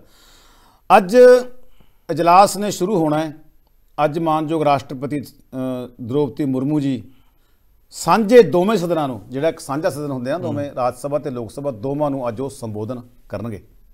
ਦੋਵਾਂ ਨੂੰ ਸੰਬੋਧਨ ਕਰਨਗੇ। ਮੁੱਦਾ ਇਹ ਵੀ ਉੱਠਣ ਦੀ ਸੰਭਾਵਨਾ ਹੈਗੀ ਜਿਵੇਂ ਬੀਬੀ ਹਰਸਿਮਰਤ ਕੌਰ ਬਾਦਲ ਨੇ ਗੱਲ ਕੀਤੀ ਆ ਕਿ ਜਿਹੜਾ ਜੋ ਇਹ ਹੈਗੀ ਆ ਐਮਐਸਪੀ ਕਮੇਟੀ ਹੋਏਗੀ ਆ। ਇਹ ਐਮਐਸਪੀ ਦੀ ਕਮੇਟੀ ਬਣਾ ਕੇ ਇਸ ਨੂੰ ਕਾਨੂੰਨੀ ਨੁਕਤਾ ਨਿਗਾਹ ਦੇ ਨਾਲ ਵਿਚਾਰਿਆ ਜਾਵੇ। ਇਸ ਨੂੰ ਕਾਨੂੰਨੀ ਮੱਦ ਵਿੱਚ ਲਿਆਂਦਾ ਜਾਵੇ। ਇਹ ਮੰਗ ਵੀ ਉੱਠਣ ਦੀ ਸੰਭਾਵਨਾ ਹੈਗੀ ਆ। ਇਹ ਵੀ ਚੱਕੀ ਜਾਏਗੀ ਗੱਲ। ਬਹੁਤ ਸਾਰੀਆਂ ਬਹੁਤ ਸਾਰੇ ਮੁੱਦੇ ਜਿਹੜੇ ਹੈਗੇ ਆ ਇਸ ਆਧਾਰ ਤੇ ਦੇਖੋ ਇੱਕ ਮੁੱਦਾ ਹੋਰ ਵੀ ਹੈਗਾ। ਜਿਹੜਾ ਵਾਈਐਸਆਰ ਕਾਂਗਰਸ ਹੈ ਉਸ ਨੇ ਜਾਤੀ ਆਧਾਰਿਤ ਆਰਥਿਕ ਮਰਦਮਸ਼ੁਮਾਰੀ ਕਰਨ ਦੀ ਗੱਲ ਵੀ ਕੀਤੀ ਆ। ਜਾਤੀ ਆਧਾਰਿਤ ਮਰਦਮਸ਼ੁਮਾਰੀ ਜਾਤੀ ਆਧਾਰਿਤ ਆਰਥਿਕ ਮਰਦਮਸ਼ੁਮਾਰੀ ਕਰਨ ਦੀ ਗੱਲ ਕੀਤੀ ਆ। ਇਹ ਹੈਗੀ ਆ ਵਾਈ ਵਾਈਐਸਆਰ ਕਾਂਗਰਸ ਦੀ ਮੰਗ ਹੈਗੀ ਆ। ਇਦਾਂ ਦੇ ਮੁੱਦੇ ਅੱਜ ਤੋਂ ਉੱਠਣ ਦੀ ਸੰਭਾਵਨਾ ਹੈਗੀ ਆ। ਲੱਗਦਾ ਹੈ ਕਿ ਇਹ ਬਜਟ ਸੈਸ਼ਨ ਕਾਫੀ ਹਗਾਮੇ ਵਾਲਾ ਰਹੇਗਾ। ਜੀ। ਜੀ। ਤੇ ਦੂਜੇ ਪਾਸੇ ਆਪਾਂ ਪਹਿਲਾਂ ਵੀ ਜ਼ਿਕਰ ਕਰ ਰਹੇ ਹਾਂ ਕਿੱਦਾਂ ਸਾਹਿਬ ਕਿ BBC ਦੀ ਜਿਹੜੀ ਦਸਤਾਵੇਜ਼ੀ ਹੈ ਉਹ ਕਾਫੀ ਚਰਚਾ ਦੇ ਵਿੱਚ ਹੈ। ਤੇ ਇਸ ਨੂੰ ਲੈ ਕੇ ਹੁਣ ਸੁਪਰੀਮ ਕੋਰਟ ਦੇ ਵਿੱਚ ਇੱਕ ਪਟੀਸ਼ਨ ਵੀ ਪੈ ਚੁੱਕੀ ਹੈ ਤੇ ਉਹਦੇ ਉੱਤੇ ਕੇਂਦਰੀ ਕਾਨੂੰਨ ਮੰਤਰੀ ਆਪਣਾ ਪ੍ਰਤੀਕਰਮ ਦੇ ਚੁੱਕੇ ਨੇ। ਉਹ ਕਹਿੰਦੇ ਜੀ ਐਡੀ ਵੱਡੀ ਅਦਾਲਤ ਦੇ ਵਿੱਚ ਪਤਾ ਨਹੀਂ ਕਿਉਂ ਕਹਿੰਦੇ ਅਜਿਹਾ ਮੁੱਦਾ ਪਹੁੰਚਾਇਆ ਗਿਆ ਜੋ ਸਮਾਂ ਖਰਾਬ ਕਰੇਗਾ। ਤਾਂ ਕਾਫੀ ਚਰਚਾ ਦੇ ਵਿੱਚ ਹੈ ਜੀ ਇਹ ਵੀ। ਬਿਲਕੁਲ ਜਿਹੜੇ ਡਾਕੂਮੈਂਟਰੀ ਫਿਲਮ ਨੂੰ ਚਲਾਉਣ ਵਾਸਤੇ ਇਹ ਮੌਲਿਕ ਅਧਿਕਾਰਾਂ ਦੀ ਗੱਲ ਕੀਤੀ ਆ ਜਿਹੜੇ ਐਡਵੋਕੇਟ ਐਮ ਐਲ ਸ਼ਰਮਾ ਹੈਗੇ ਆ ਸੁਪਰੀਮ ਕੋਰਟ ਦੇ ਵਿੱਚ ਪਟੀਸ਼ਨ ਪਾ ਕੇ ਉਹਨਾਂ ਨੇ ਮੰਗ ਕੀਤੀ ਆ ਕਿ ਮੌਲਿਕ ਆਧਾਰਾਂ ਦੀ ਗੱਲ ਹੈਗੀ ਹੈ। ਇਹ ਫਿਲਮ ਤੁਹਾਨੂੰ ਦੇਖਣੀ ਚਾਹੀਦੀ ਆ। ਇਹ ਸਭ ਨੂੰ ਦੇਖਣੀ ਚਾਹੀਦੀ ਹੈ ਫਿਲਮ। ਇਹਦੇ ਸਾਰੇ ਭਾਗ ਦੇਖਣੇ ਚਾਹੀਦੇ ਫਿਲਮ ਦੇ। ਕੀ ਹੋਇਆ ਕੀ ਆ ਅਸਲ 'ਚ? ਇਹਦੀ ਤੁਸੀਂ ਸਪਸ਼ਟੀਕਰਨ ਦੇ ਸਕਦੇ ਹੋ ਪ੍ਰੈਸ ਕਾਨਫਰੰਸ ਕਰ ਸਕਦੇ ਹੋ ਕੋਈ ਵੀ ਗੱਲ ਸਪਸ਼ਟੀਕਰਨ ਦਿੱਤਾ ਜਾ ਸਕਦਾ ਹੈ ਕਿ ਇਹ ਭਾਈ ਅਸੀਂ ਨਹੀਂ ਕੀਤਾ। ਉਹ ਤੁਸੀਂ ਨਹੀਂ ਬੋਲ ਰਹੇ ਨਰਿੰਦਰ ਮੋਦੀ ਜੀ ਬੋਲ ਰਹੇ ਆ ਉੱਥੇ। ਮਤਲਬ ਬੀਬੀਸੀ ਦੀ ਪੱਤਰਕਾਰ ਨਰਿੰਦਰ ਮੋਦੀ ਨੂੰ ਆ ਕੇ ਪੁੱਛਦੀ ਆ ਕਿ ਤੁਹਾਡੇ ਉੱਤੇ ਇਲਜ਼ਾਮ ਲੱਗੇ ਨੇ ਤੁਸੀਂ ਮੁੱਖ ਮੰਤਰੀ ਸੀਗੇ। ਤੁਸੀਂ ਰੋਕਿਆ ਕਿਉਂ ਨਹੀਂ? ਤੁਸੀਂ ਪੁਲਿਸ ਨੂੰ ਪੁਲਿਸ ਨੂੰ ਜਾਣ ਕਿਉਂ ਨਹੀਂ ਦਿੱਤਾ ਉੱਥੇ? ਤੁਸੀਂ ਪੁਲਿਸ ਨੂੰ ਰੋਕਿਆ ਕਿਉਂ? ਕਿ ਤੁਸੀਂ ਕਿਸੇ ਵੀ ਗੱਲ ਤੇ ਦਖਲਅੰਦਾਜ਼ੀ ਨਹੀਂ ਕਰਨੀ। ਜੋ ਦੰਗਾਈ ਹੈਗੇ ਉਹਨੂੰ ਕਰਨ ਦਿਓ ਜੋ ਕਾਰਵਾਈ ਕਰ ਰਹੇ ਆ। ਤੁਸੀਂ ਕਿਉਂ ਨਹੀਂ ਰੋਕਿਆ? ਹੂੰ। ਗੁਜਰਾਤ ਦੇ ਵਿੱਚ ਕਤਲੇਆਮ ਕੀਤਾ ਗਿਆ। ਤੁਸੀਂ ਮੁੱਖ ਮੰਤਰੀ ਸੀਗੇ। ਮਿਸਟਰ ਫਰੂਕੀ ਤੁਹਾਨੂੰ ਫੋਨ ਕਰੀ ਜਾਂਦੇ ਆ। ਬਾਰ-ਬਾਰ। ਅਕੇ ਮੈਨੂੰ ਮਾਰ ਦੇਣਗੇ ਇਹ। ਤੁਹਾਨੂੰ ਫੋਨ ਕਰਦੇ ਆ। ਤੇ ਤੁਹਾਡੇ ਵੱਲੋਂ ਮਿਸਟਰ ਫਾਰੂਕੀ ਦਾ ਕੋਈ ਜਵਾਬ ਨਹੀਂ ਦਿੱਤਾ ਗਿਆ ਤੇ ਉਸ ਦੀ ਗਰਦਨ ਕੱਢ ਕੇ ਮਾਰਤਾ ਗਿਆ। ਹੂੰ। ਬਈ ਇਹ ਜਿਹੜੀ ਜਿਹੜੀ ਬੜੀ ਵੱਡੀ ਗੱਲਾਂ ਸਾਹਮਣੇ ਤੁਸੀਂ ਜਵਾਬ ਦਿਓ ਨਾ ਉਹਦਾ। ਇਹ ਇਹਦੇ ਇਹ ਸੰਬੰਧ ਵਿੱਚ ਐਮਐਲ ਸ਼ਰਮਾ ਨੇ ਸੁਪਰੀਮ ਕੋਰਟ 'ਚ ਪਟੀਸ਼ਨ ਪਾਈ ਆ ਭਾਵੇਂ ਕਿ ਇਸ ਸੰਦਰਭ ਵਿੱਚ ਚੰਦਰਚੂੜ ਹੋਣੀ 6 ਫਰਵਰੀ ਨੂੰ ਇਹਦੀ ਸੁਣਵਾਈ ਕਰਨਗੇ ਸਾਡੇ ਜਸਟਿਸ ਸਾਹਿਬ ਨੇ। ਹੂੰ। ਤੇ ਇਹਦੇ ਵਿੱਚ ਕਿਰਨ ਰਿਜਜੂ ਜਿਹੜੇ ਸਾਡੇ ਕਾਨੂੰਨ ਮੰਤਰੀ ਆ ਉਸ ਨੇ ਬੜਾ ਟੇਢਾ ਜਿਹਾ ਬਿਆਨ ਦਿੱਤਾ ਵੈਸੇ ਉਹ ਟੇਢੇ ਜਿਹੇ ਬਿਆਨ ਦੇਣ ਦੇ ਆਦੀ ਹੈ। ਤੇ ਉਹਨਾਂ ਨੇ ਕਿਹਾ ਕਿ ਇਹ ਕਿੰਨਾ ਮਾੜੀ ਗੱਲ ਆ ਕਿ ਇਹੋ ਜਿਹੇ ਕੇਸ ਪਾ ਕੇ ਕਿਵੇਂ ਮਾਨਯੋਗ ਸੁਪਰੀਮ ਕੋਰਟ ਦਾ ਸਮਾਂ ਖਰਾਬ ਕੀਤਾ ਜਾਂਦਾ ਹੈ। ਹੂੰ। ਜਿਹੜੇ ਐਨੇ ਲੱਖਾਂ ਦੇ ਕਰੀਬ ਕੇਸ ਚੱਲ ਰਹੇ ਆ ਉਹ ਸਮਾਂ ਖਰਾਬ ਨਹੀਂ ਹੈਗਾ ਰਿਜਜੂ ਬਾਰੇ? ਇਹ ਵੀ ਮੇਰੇ ਖਿਆਲ ਦੇ ਵਿੱਚ ਰਹਿ ਚੁੱਕੇ ਨੇ ਜੀ ਜੱਜ ਵਗੈਰਾ ਨਾ। ਇਹਦਾ ਇਹਦਾ ਦਾ ਵੀ ਹਾਂ ਪਿਛੋਕੜ ਜਿਹੜਾ ਅਦਾਲਤਾਂ ਨਾਲ ਜੁੜਿਆ ਹੋਇਆ। ਕਹਿਣ ਦਾ ਇਹ ਅਸਲ 'ਚ ਨਾ ਆਪਣੀ ਮੰਤਰੀ ਬਣਨ ਤੋਂ ਬਾਅਦ ਨਾ ਇਹ ਆਪਣੇ ਆਪ ਨੂੰ ਸੁਪਰੀਮ ਕੋਰਟ ਦੇ ਬਾਪ ਸਮਝਣ ਲੱਗ ਪਿਆ ਹੂੰ। ਜਿਹੜੇ ਕਿਰਨ ਰਿਜੂ ਹੈਗੇ। ਮੰਤਰੀ ਬਣ ਗਏ ਆ ਤੇ ਅਸੀਂ ਸੁਪਰੀਮ ਕੋਰਟ ਦੇ ਬਾਪ ਬਣ ਗਏ ਆ। ਸੁਪਰੀਮ ਕੋਰਟ ਸਾਡੀ ਸਭ ਤੋਂ ਉੱਚ ਅਦਾਲਤ ਹੈ। ਸਾਡੀ ਸੁਪਰੀਮ ਅਦਾਲਤ ਹੈ। ਹੂੰ। ਉਸ ਦੇ ਉੱਤੇ ਕਮੈਂਟ ਕਰਨਾ ਇਹਨਾਂ ਦਾ ਕੀ ਕਹਿੰਦੇ ਆਪਾਂ ਉਹਨੂੰ ਕਿ ਇਹਨਾਂ ਦੇ ਨਾ ਮੁੱਢਲੇ ਕਰਮਾਂ ਚ ਆ ਗਿਆ ਉਹ। ਕਿ ਸੁਪਰੀਮ ਕੋਰਟ ਦੇ ਉੱਪਰ ਕਮੈਂਟ ਆਪਾਂ ਕਰ ਨਹੀਂ ਕਰ ਰਹੇ ਮੁੱਢਲਾ ਕਰਮਾ ਮੇਰਾ। ਇਸ ਤੋਂ ਬਾਅਦ ਬਾਕੀ ਕਰਮ ਬਾਅਦ ਚ ਨੇ। ਪਹਿਲਾਂ ਸੁਪਰੀਮ ਕੋਰਟ ਨੂੰ ਕਰਨਾ। ਕਾਨੂੰਨ ਮੰਤਰੀ ਬਣ ਕੇ ਆਪਣੇ ਆਪ ਨੂੰ ਰੱਬ ਸਮਝਣ ਲੱਗ ਪਿਆ। ਇਹ ਕਹਿੰਦੇ ਆ ਜੀ ਸਮਾਂ ਖਰਾਬ ਹੋ ਰਿਹਾ। ਸਮਾਂ ਕਿਵੇਂ ਖਰਾਬ ਹੋ ਰਿਹਾ? ਕਿਉਂਕਿ ਤੁਹਾਡੇ ਜਿਹੜਾ ਤੁਹਾਡਾ ਜਿਹੜਾ ਬਾਪ ਹੈਗਾ ਨਰਿੰਦਰ ਮੋਦੀ ਉਸ ਦੇ ਪਰਦੇਫਾਸ਼ ਕਰ ਰਹੀ ਹੈ ਇਹ ਜਿਹੜੀ ਬੀਬੀਸੀ ਦੀ ਡਾਕੂਮੈਂਟਰੀ ਆ। ਨਹੀਂ ਨਾ? ਉਹਦੇ ਤੁਸੀਂ ਕਿਉਂ ਚਾਹੋਗੇ ਕਿ ਸਾਡੇ ਬਾਪੂ ਦਾ ਕੋਈ ਪਰਦਾਫਾਸ਼ ਕਰੇ? ਬਾਪੂ ਹੀ ਕਹਿੰਦੇ ਨਾ ਧਰਮਿੰਦਰ ਜੀ ਨਰਿੰਦਰ ਮੋਦੀ ਜੀ ਨੂੰ ਗੋਡ ਕਹਿੰਦੇ ਆ ਬਾਪੂ ਕਹਿੰਦੇ ਆ ਪਾਪਾ ਕਹਿੰਦੇ ਆ ਬਹੁਤ ਕੁਝ ਕਹਿੰਦੇ ਆ। ਮੋਦੀ ਜੀ ਨੂੰ ਭਾਜਪਾ ਜਿਹੜੇ ਹੈਗੇ ਆ। ਤੇ ਇਸ ਕਰਕੇ ਮੈਂ ਉਹਨੂੰ ਬਾਪੂ ਕਹਿ ਰਿਹਾ ਉਹਨਾਂ ਦਾ। ਉਹਨਾਂ ਦਾ ਬਾਪ ਹੈਗਾ ਉਹਦੇ ਬਾਪ ਦੇ ਖਿਲਾਫ ਕੋਈ ਬੰਦਾ ਬੋਲ ਰਿਹਾ। ਇਹਦਾ ਮਤਲਬ ਗਲਤ ਹੈ। ਵੈਸੇ ਕੱਲ ਪੰਜਾਬੀ ਯੂਨੀਵਰਸਿਟੀ ਪਟਿਆਲਾ ਦੇ ਐਸਐਫਆਈ ਵਾਲੇ ਨਾ ਜਿਹੜੇ ਸਟੂਡੈਂਟ ਯੂਨੀਅਨ ਪੀਐਸਯੂ ਵਾਲੇ ਉਹ ਡਾਕੂਮੈਂਟਰੀ ਦਿਖਾਉਣ 'ਚ ਕਾਮਯਾਬ ਹੋ ਗਏ ਆ। ਕੱਲ ਪੰਜਾਬੀ ਯੂਨੀਵਰਸਿਟੀ ਪਟਿਆਲਾ ਦੇ ਵਿੱਚ ਇਹ ਡਾਕੂਮੈਂਟਰੀ ਐਨ ਖੁੱਲੇ ਤੌਰ ਦਿਖਾਈ ਗਈ ਆ। ਏਬੀਪੀ ਵਾਲੇ ਆਏ ਸੀਗੇ ਉਹਨਾਂ ਕੋਲੇ। ਤੁਸੀਂ ਵੀ ਨਾਂ ਦਿਖਾਓ ਇਹਨੂੰ ਇਹ ਇਹ ਬੰਦ ਕਰੀ ਹੋਈ ਆ। ਕੇਂਦਰ ਸਰਕਾਰ ਨੇ ਬੈਨ ਕੀਤੀ ਹੈ ਕਿਉਂ ਦਿਖਾ ਰਹੇ ਹੋ ਤੁਸੀਂ? ਪੁਲਿਸ ਵੀ ਬਹੁਤ ਲੱਗੀ ਹੋਈ ਸੀ ਪੰਜਾਬੀ ਯੂਨੀਵਰਸਿਟੀ ਵਿੱਚ ਕੱਲ ਪਰ ਇਹ ਜਿਹੜੀ ਜਥੇਬੰਦੀ ਹੈਗੀ ਆ ਪੀਐਸਯੂ ਆ ਉਹਨਾਂ ਨੇ ਦਿਖਾਇਆ ਇਹ। ਪੀਐਸਯੂ ਇਹ ਜਿਹੜੀ ਡਾਕੂਮੈਂਟਰੀ ਕੱਲ ਪੰਜਾਬੀ ਯੂਨੀਵਰਸਿਟੀ ਦੇ ਵਿਦਿਆਰਥੀਆਂ ਨੂੰ ਦਿਖਾਉਣ ਵਿੱਚ ਕਾਮਯਾਬ ਹੋਈ ਆ। ਤੇ ਆਪਾਂ ਕਹਿ ਸਕਦੇ ਹਾਂ ਕਿ ਨਾਲ ਉਹਨਾਂ ਨੇ ਇਹ ਵੀ ਗੱਲ ਕੀਤੀ ਆ ਕਿ ਆਪੋ ਵਿਚਾਰੀ ਪੇਸ਼ ਕਰੋ ਭਾਈ ਸਾਰੇ। ਹੂੰ। ਤਾਂ ਕਿ ਪਤਾ ਲੱਗੇ ਕਿ ਕਿ ਯੂਨੀਵਰਸਿਟੀਆਂ ਵਿੱਚ ਨਾ ਵਿਦਿਆਰਥੀ ਇਹ ਫਿਲਮ ਦਿਖਾਉਣ ਦੇ ਲਈ ਕਾਫੀ ਚਾਰਾਜੋਈ ਕਰ ਰਹੇ ਆ। ਹੂੰ ਦਿੱਲੀ ਯੂਨੀਵਰਸਿਟੀ ਯੂਨੀਵਰਸਿਟੀ ਦੇ ਬਾਰੇ ਵਿੱਚ ਵੀ ਹੋਇਆ ਹੈਦਰਾਬਾਦ ਯੂਨੀਵਰਸਿਟੀ ਵਿੱਚ ਵੀ ਹੋਇਆ ਜੇਐਨਯੂ ਵਿੱਚ ਵੀ ਹੋਇਆ। ਯੂਨੀਵਰਸਿਟੀਆਂ 'ਚ ਵਿਦਿਆਰਥੀ ਇਹ ਫਿਲਮ ਨੂੰ ਦੇਖਣਾ ਚਾਹੁੰਦੇ ਆ ਦਿਖਾਉਣਾ ਚਾਹੁੰਦੇ ਆ ਪਰ ਸਰਕਾਰ ਬਜ਼ਿੱਦ ਹੈਗੀ ਆ ਕਿ ਨਹੀਂ ਦੇਖਣੀ ਫਿਲਮ ਇਹ। ਫਿਲਮ ਬਾਕੀ ਦੇਖਣ ਵਾਲੀ ਆ। ਤੁਹਾਨੂੰ ਤੁਹਾਡੀਆਂ ਅੱਖਾਂ ਖੋਲਦੀ ਆ। ਮੈਂ ਕਹਿੰਦਾ ਬੀਜੇਪੀ ਵਾਲੀ ਜ਼ਰੂਰ ਦੇਖਣ ਨੂੰ। ਜਿਨ੍ਹਾਂ ਬੰਦਿਆਂ ਨੇ ਦਾ ਕਸ਼ਮੀਰ ਫਾਈਲ ਦੇਖੀ ਹੈ ਨਾ ਫਿਲਮ ਉਹ ਡਾਕੂਮੈਂਟਰੀ ਜ਼ਰੂਰ ਦੇਖੇ। ਜੀ। ਜੀ। ਤੇ ਦੂਜੇ ਪਾਸੇ ਚੰਡੀਗੜ੍ਹ ਦੇ ਵਿੱਚ G20 international financial architecture working group ਦੀ ਸ਼ੁਰੂਆਤ ਹੋ ਚੁੱਕੀ ਹੈ ਮੀਟਿੰਗ ਸ਼ੁਰੂ ਹੋਈ ਹੈ ਤੇ ਤੋਮਰ ਤੋਂ ਇਲਾਵਾ ਜੋ ਸਾਡੇ ਕੇਂਦਰੀ ਖੇਤੀਬਾੜੀ ਮੰਤਰੀ ਨੇ ਤੇ ਹੋਰ ਵੀ ਸ਼ਖਸੀਅਤਾਂ ਵੱਡੇ ਲੀਡਰ ਇਸ ਦੇ ਵਿੱਚ ਪਹੁੰਚੇ ਨੇ। ਨਰਿੰਦਰ ਤੋਮਰ ਨੇ ਤੇ ਪਸ਼ੂਪਤੀ ਕੁਮਾਰ ਪਾਰਸੀ ਵੀ ਕਰਨ ਮੰਤਰੀ ਨੇ ਕੇਂਦਰ ਦੇ ਇਹਨਾਂ ਨੇ ਉਦਘਾਟਨ ਕੀਤਾ ਤੇ ਕਾਫੀ ਜਿਹੜਾ ਕਿ ਉਹਨਾਂ ਨੇ ਗੱਲ ਕੀਤੀ ਹੈ ਆਲਮੀ ਗੁੰਝਲਦਾਰ ਚੁਣੌਤੀਆਂ ਨੂੰ ਸਰਦਾ ਰਾਹੀਂ ਪ੍ਰਭਾਵਿਤ ਨਹੀਂ ਕਰ ਸਕਦੇ ਅਸੀਂ। ਆਲਮੀ ਕੋਈ ਗੁੰਝਲਦਾਰ ਚੁਣੌਤੀਆਂ ਨੇ ਸਾਡੇ। ਤੇ ਇਹ ਸੰਦਰਭ ਵਿੱਚ ਕਾਫੀ ਗੱਲਾਂ ਕੀਤੀਆਂ ਨੇ ਜੀ। ਕੱਲ ਚੰਡੀਗੜ੍ਹ ਦੇ ਵਿੱਚ ਇਹ ਸ਼ੁਰੂ ਹੋਇਆ ਕਿ ਚੰਡੀਗੜ੍ਹ ਬੜਾ ਸਜਾਇਆ ਪਿਆ ਸੀਗਾ। ਭਾਰਤ ਨੂੰ ਖੇਤੀ ਸਬਸਿਡੀ ਤੋਂ ਘਟਾਉਣ ਦਾ ਦਾਵਾ ਉਹ ਅਸੀਂ ਨਹੀਂ ਘਟਾਵਾਂਗੇ ਕਹਿੰਦੇ ਭਾਰਤ ਦੇ ਵਿੱਚ ਜੋ ਕਿਸਾਨਾਂ ਨੂੰ ਲਾਭ ਦੇ ਰਹੀ ਹੈ ਕੇਂਦਰ ਸਰਕਾਰ ਉਹ ਦਿੰਦੇ ਰਹਾਂਗੇ ਅਸੀਂ ਤੋਮਰ ਸਾਹਿਬ ਇਹ ਗੱਲ ਕਹੇ ਗਏ ਆ। ਤੇ ਇਹ ਚਲੋ ਚੱਲ ਰਹੀ ਹੈ G20 ਦਾ ਹੁਣ ਚੱਲ ਰਿਹਾ ਕੱਲ ਦੁਲਹਨ ਦੁਲਹਨ ਹੁੰਦੀ ਹੈ ਨਾ ਦੁਲਹਨ ਵਾਂਗ ਸਜਾਇਆ ਚੰਡੀਗੜ੍ਹ ਨੂੰ। ਤੇ ਬਹੁਤ ਖੂਬਸੂਰਤ ਲੱਗ ਰਿਹਾ ਸੀ। ਬਈ ਚੰਡੀਗੜ੍ਹ ਵੈਸੇ ਹੀ ਖੂਬਸੂਰਤ ਸਾਡਾ ਬਹੁਤ ਆ। ਪੁਆਧ ਦੇ 28 ਪਿੰਡਾਂ ਨੂੰ ਉਜਾੜ ਕੇ ਵਸਾਇਆ ਹੋਇਆ ਚੰਡੀਗੜ੍ਹ ਜਿਹੜਾ ਹੈਗਾ ਜਿੱਥੇ ਕਦੇ ਲਿਖਿਆ ਹੁੰਦਾ ਸੀ ਉੱਪਰਲੇ ਪਾਸੇ ਪੰਜਾਬੀ 'ਚ ਉਸ ਤੋਂ ਹੇਠਾਂ ਹਿੰਦੀ 'ਚ ਉਸ ਤੋਂ ਹੇਠਾਂ ਉਰਦੂ 'ਚ ਉਸ ਤੋਂ ਹੇਠਾਂ ਅੰਗਰੇਜ਼ੀ ਤੱਕ ਹੁੰਦੀ ਚਾਰ ਭਾਸ਼ਾਵਾਂ ਤੱਕ ਹੁੰਦੀ ਸੀਗੀ। ਅੱਜ ਉੱਥੇ ਹਿੰਦੀ ਹਿੰਦੀ ਨਜ਼ਰ ਨਜ਼ਰ ਆਉਂਦੀ ਹੈ ਸਾਨੂੰ ਪੰਜਾਬੀ ਕਿਤੇ ਨਜ਼ਰ ਨਹੀਂ ਆਉਂਦੀ। ਉਸ ਚੰਡੀਗੜ੍ਹ ਨੂੰ ਕੱਲ ਸਜਾਇਆ ਸੀ ਉੱਥੇ G20 ਮੁਲਕਾਂ ਦਾ ਕੱਲ ਜਿਹੜੀ ਹੈਗੀ ਆ ਉਹ ਮੀਟਿੰਗ ਸ਼ੁਰੂ ਹੋਈ ਹੈ ਤੇ ਅੱਜ ਵੀ ਚੱਲੇਗੀ। ਜੀ ਜੀ। ਤੇ ਵੱਡੀ ਤੇ ਅਹਿਮ ਖਬਰ ਇੱਕ ਹੋਰ ਆਪਣੇ ਦਰਸ਼ਕਾਂ ਨੂੰ ਦੱਸ ਦਈਏ ਕਿ ਅੰਡੇਮਾਨ ਨਿਕੋਬਾਰ ਦੇ ਵਿੱਚ ਭੂਚਾਲ ਦੇ ਝਟਕੇ ਮਹਿਸੂਸ ਕੀਤੇ ਗਏ ਨੇ। ਕਾਫੀ ਜਿਹੜਾ ਤੇਜ਼ ਭੂਚਾਲ ਸੀ, ਪਰ ਕੋਈ ਵੀ ਜਾਨੀ ਜਾਂ ਮਾਲੀ ਨੁਕਸਾਨ ਨਹੀਂ ਹੋਇਆ। ਅੱਜ ਸਵੇਰੇ 4 ਵਜੇ ਦੇ ਕਰੀਬ ਜ਼ਬਰਦਸਤ ਝਟਕੇ ਮਹਿਸੂਸ ਹੋਏ ਨੇ ਤੇ ਜਿਹੜੀ ਰਿਕਟਰ ਸਕੇਲ ਦੇ ਉੱਤੇ ਇਹਦੀ ਤੀਬਰਤਾ ਨਾਪੀ ਜਾਂਦੀ ਆ, ਤਾਂ ਉਹ 4.9 ਮਾਪੀ ਗਈ ਹੈ। ਤੇ ਇਸ ਤੋਂ ਇਲਾਵਾ ਧਰਤੀ ਦੇ ਹੇਠਾਂ ਜਿਹੜਾ ਡੁੰਗਾਈ ਦਾ ਇਹਦਾ ਪੱਧਰ ਸੀਗਾ ਉਹ 77 ਕਿਲੋਮੀਟਰ ਸੀ। 77 ਕਿਲੋਮੀਟਰ ਤੱਕ ਮਤਲਬ ਇਹ ਹਿਲਜੁਲ ਦੇਖੀ ਗਈ ਹੈ। ਸੋ ਗਨੀਮਤ ਇਹ ਰਹੀ ਕਿ ਕਿਸੇ ਵੀ ਤਰ੍ਹਾਂ ਦਾ ਜਾਨੀ ਜਾਂ ਮਾਲੀ ਨੁਕਸਾਨ ਨਹੀਂ ਹੋਇਆ। ਇਸ ਤੋਂ ਪਹਿਲਾਂ ਦਿੱਲੀ ਦੇ ਨਜ਼ਦੀਕ ਐਨਸੀਆਰ ਇਲਾਕਾ ਪੈਂਦਾ ਹੈ। ਦਿੱਲੀ ਐਨਸੀਆਰ ਦੇ ਵਿੱਚ ਵੀ ਬੀਤੇ ਦਿਨਾਂ ਦੇ ਦੌਰਾਨ ਕਾਫੀ ਝਟਕੇ ਮਹਿਸੂਸ ਕੀਤੇ ਗਏ ਨੇ। ਜੋਸ਼ੀਮਠ ਦੇ ਵਿੱਚ ਤਾਂ ਦਰਾਰਾਂ ਪੈ ਚੁੱਕੀਆਂ ਨੇ। ਤੇ ਹੁਣ ਪਿੱਛੇ ਜੇ ਕਿਦਾ ਸਾਹਿਬ, ਬਿਲਾਸਪੁਰ, ਜਿੱਥੇ ਅਨੰਦਪੁਰ ਸਾਹਿਬ ਤੋਂ ਥੋੜਾ ਜਿਹਾ ਅੱਗੇ ਜਾ ਕੇ ਸ਼ੁਰੂ ਹੋ ਜਾਂਦਾ ਬਿਲਾਸਪੁਰ, ਹਿਮਾਚਲ ਪ੍ਰਦੇਸ਼, ਉਹਨੂੰ ਵੀ ਇਸੇ ਜ਼ੋਨ ਦੇ ਵਿੱਚ ਕਹਿੰਦੇ ਜੀ ਆ ਚੁੱਕਿਆ ਹੈ ਕਿ ਉੱਥੇ ਵੀ ਹਿਲਜੁਲ ਹੋ ਸਕਦੀ ਹੈ ਧਰਤੀ ਦੇ ਵਿੱਚ ਹੈ ਨਾ? Okay okay okay. ਜੀ। ਇਹ ਚਾ ਚੁੱਕਿਆ। ਆਪਾਂ ਵੱਖ-ਵੱਖ ਵੱਖ-ਵੱਖ ਇਲਾਕਿਆਂ ਦੇ ਵਿੱਚ ਭੁਚਾਲ ਨਾ ਕੋਈ ਹੁੰਦਾ ਨਾ ਜੀ? ਇਹ ਹੁੰਦਾ ਵੈਸੇ ਤਾਂ ਜਿਹੜੇ ਕਿ ਹਿੰਦੂ ਮਤ ਵਾਲੇ ਕੁਝ ਜਿਹੜੇ ਕਿ ਪੰਡਤ ਹੈਗੇ ਕਹਿੰਦੇ ਜੀ ਜਿਹੜਾ ਧੌਲਾ ਬਲ ਬਲਦ ਹੈਗਾ ਨਾ ਜੀ ਕਹਿੰਦੇ ਆਪਣਾ ਸਿੰਘ ਲਾਉਂਦਾ ਉਹ। ਤਾਂ ਭੁਚਾਲ ਆਉਂਦਾ। ਜੇ ਲਾਉਂਦਾ ਫਿਰ ਤਾਂ ਸਾਰੀ ਧਰਤੀ ਹਿਲਣੀ ਚਾਹੀਦੀ ਆ। ਮਤਲਬ ਇਹ ਕੁਝ ਧਰਤੀ ਦੇ ਵਿੱਚ ਹਲਚਲ ਹੁੰਦੀ ਹੈ ਇਸ ਕਰਕੇ ਉਹ ਭੁਚਾਲ ਦੇ ਝਟਕੇ ਹੁੰਦੇ ਆ। ਤੇ ਬੜੀ ਕਮਾਲ ਦੀ ਗੱਲ ਹੈਗੀ ਆ ਝਾਰਖੰਡ ਨਾ ਉੱਤਰਾਖੰਡ ਦੇ ਵਿੱਚ ਨਾ ਹੂੰ।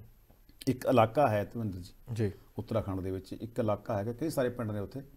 ਤੇ ਉਹ ਪਿੰਡ ਸਾਰੇ ਹੀ ਪਿੰਡ ਲੱਕੜ ਦੇ ਮਕਾਨ ਦੇ ਬਣੇ ਹੋਏ ਨੇ। ਹੂੰ। ਲੱਕੜ ਪੰਜ ਪੰਜ ਮੰਜ਼ਿਲ ਦੇ ਧਰਮਿੰਦਰ ਜੀ। ਪੰਜ ਪੰਜ ਮੰਜ਼ਿਲ ਦੇ ਲੱਕੜ ਦੇ ਮਕਾਨ ਨੇ। ਸਮੁੱਚੇ ਤੌਰ ਤੇ ਲੱਕੜ ਬਣੀ ਹੋਈ ਆ। ਤੇ ਤੁਸੀਂ ਹੈਰਾਨ ਹੋਵੋਗੇ ਕਿ ਸਭ ਤੋਂ ਉੱਤਲੀ ਮੰਜ਼ਿਲ ਦੇ ਉੱਪਰ ਅਨਾਜ ਰੱਖਿਆ ਹੁੰਦਾ ਹੁੰਦਾ। ਹੂੰ। ਸਭ ਤੋਂ ਹੇਠਲੀ ਮੰਜ਼ਿਲ ਦੇ ਵਿੱਚ ਡੰਗਰ ਪਸ਼ੂ ਨੇ। ਉਸ ਤੋਂ ਉੱਤਲੀ ਮੰਜ਼ਿਲ ਤੇ ਪਰਿਵਾਰ ਰਹਿੰਦੇ ਆ ਜਿਹੜੇ ਦੋ ਮੰਜ਼ਿਲਾਂ ਨੇ। ਜੀ। ਤੇ ਫਿਰ ਉਸ ਤੋਂ ਉੱਪਰਲੇ ਪਾਸੇ ਨਾਜ ਰਹਿੰਦੇ ਆ। ਤੇ ਉਹਨਾਂ ਦੇ ਬੜੇ ਬੜ- 1991 ਵਿੱਚ ਬਹੁਤ ਭੁਚਾਲ ਆਇਆ ਸੀ ਉੱਤਰਾਖੰਡ ਦੇ ਵਿੱਚ। ਜੀ। ਬਹੁਤ ਵੱਡਾ ਭੁਚਾਲ ਆਇਆ ਸੀ। ਮਤਲਬ ਕਿ 1991 ਵਿੱਚ ਜਿਹੜੇ ਕਿ ਕੁਝ ਇੱਟਾਂ ਦੇ ਮਕਾਨ ਬਣੇ ਸੀ ਉਹ ਗਿਰ ਗਏ ਸੀਗੇ। ਐਡਾ ਆਇਆ ਸੀ ਭੁਚਾਲ ਪਰ ਉਹ ਲੱਕੜ ਦੇ ਮਕਾਨ ਬਿਲਕੁਲ ਵੀ ਨਹੀਂ ਹਿੱਲੇ ਸੀ ਮਤਲਬ ਕਿ ਇਸ ਕਰਕੇ ਨਾ ਉੱਤਰਾਖੰਡ ਦੇ ਵਿੱਚ ਜਿਹੜਾ ਜੋਸ਼ੀ ਮੱਠ ਵਾਲਾ ਸਿਸਟਮ ਹੈ ਨਾ ਜੀ। ਉਹ ਕਾਫੀ ਹਿੱਲ ਰਿਹਾ ਨਾ।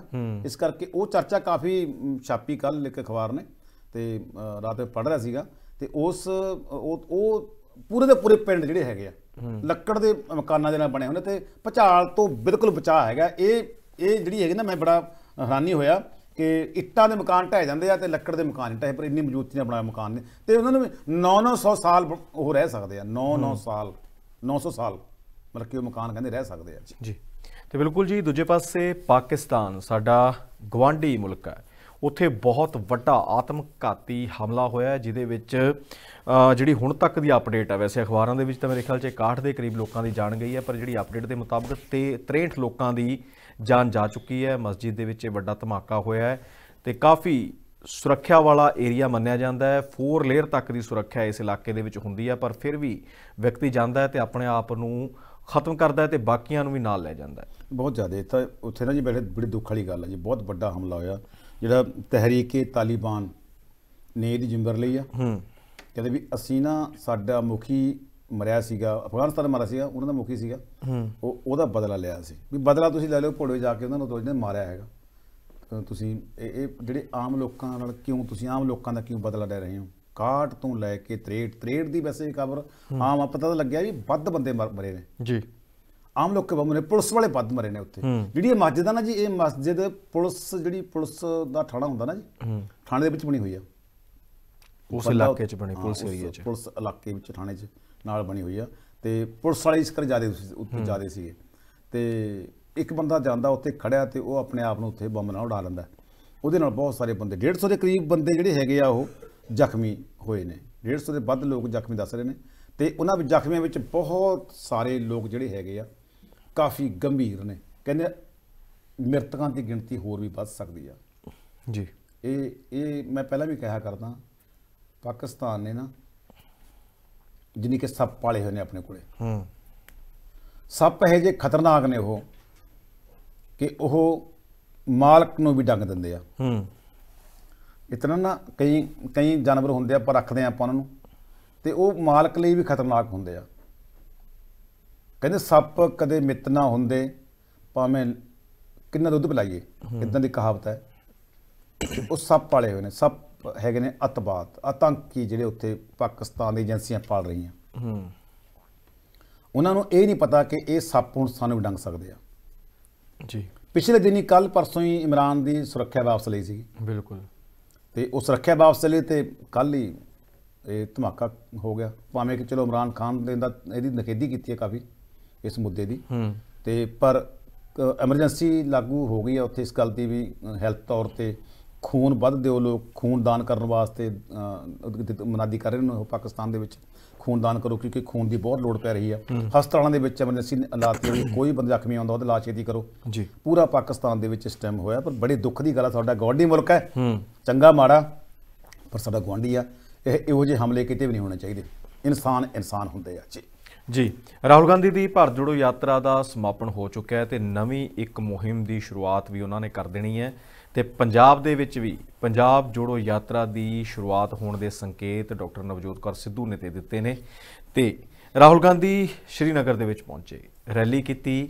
ਕਾਫੀ ਲੋਕਾਂ ਦਾ ਇਕੱਠ ਵੀ ਹੋਇਆ, ਬਰਫ਼ਬਾਰੀ ਵੀ ਹੋ ਰਹੀ ਸੀਗੀ ਤੇ ਲਗਾਤਾਰ ਤੇ ਦੂਜੇ ਪਾਸੇ ਉਹਨਾਂ ਨੇ ਭਾਜਪਾ ਨੂੰ ਨਿਸ਼ਾਨੇ ਦੇ ਉੱਤੇ ਲਿਆ ਹੈ ਤੇ ਕੁਝ ਤਸਵੀਰਾਂ ਫੇਰ ਉਹਨਾਂ ਦੀ ਭੈਣ ਦੇ ਨਾਲ ਉਹਨਾਂ ਦੀਆਂ ਸਾਹਮਣੇ ਆਈਆਂ ਨੇ ਜਿਹਦੇ ਵਿੱਚ ਉਹ ਪੂਰੀ ਤਰ੍ਹਾਂ ਦੇ ਨਾਲ ਬਰਫ਼ਬਾਰੀ ਦਾ ਆਨੰਦ ਲੈਂਦੇ ਹੋਏ ਦਿਖਾਈ ਦੇ ਰਹੇ ਨੇ।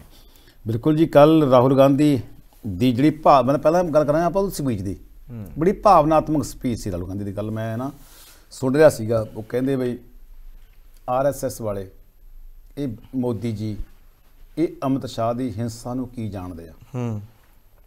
ਹਿੰਸਾ ਕੀ ਹੁੰਦੀ ਹੈ ਮੈਂ ਦੇਖੀ ਆ ਹਿੰਸਾ ਆਪਣੇ ਕੋਲੋਂ।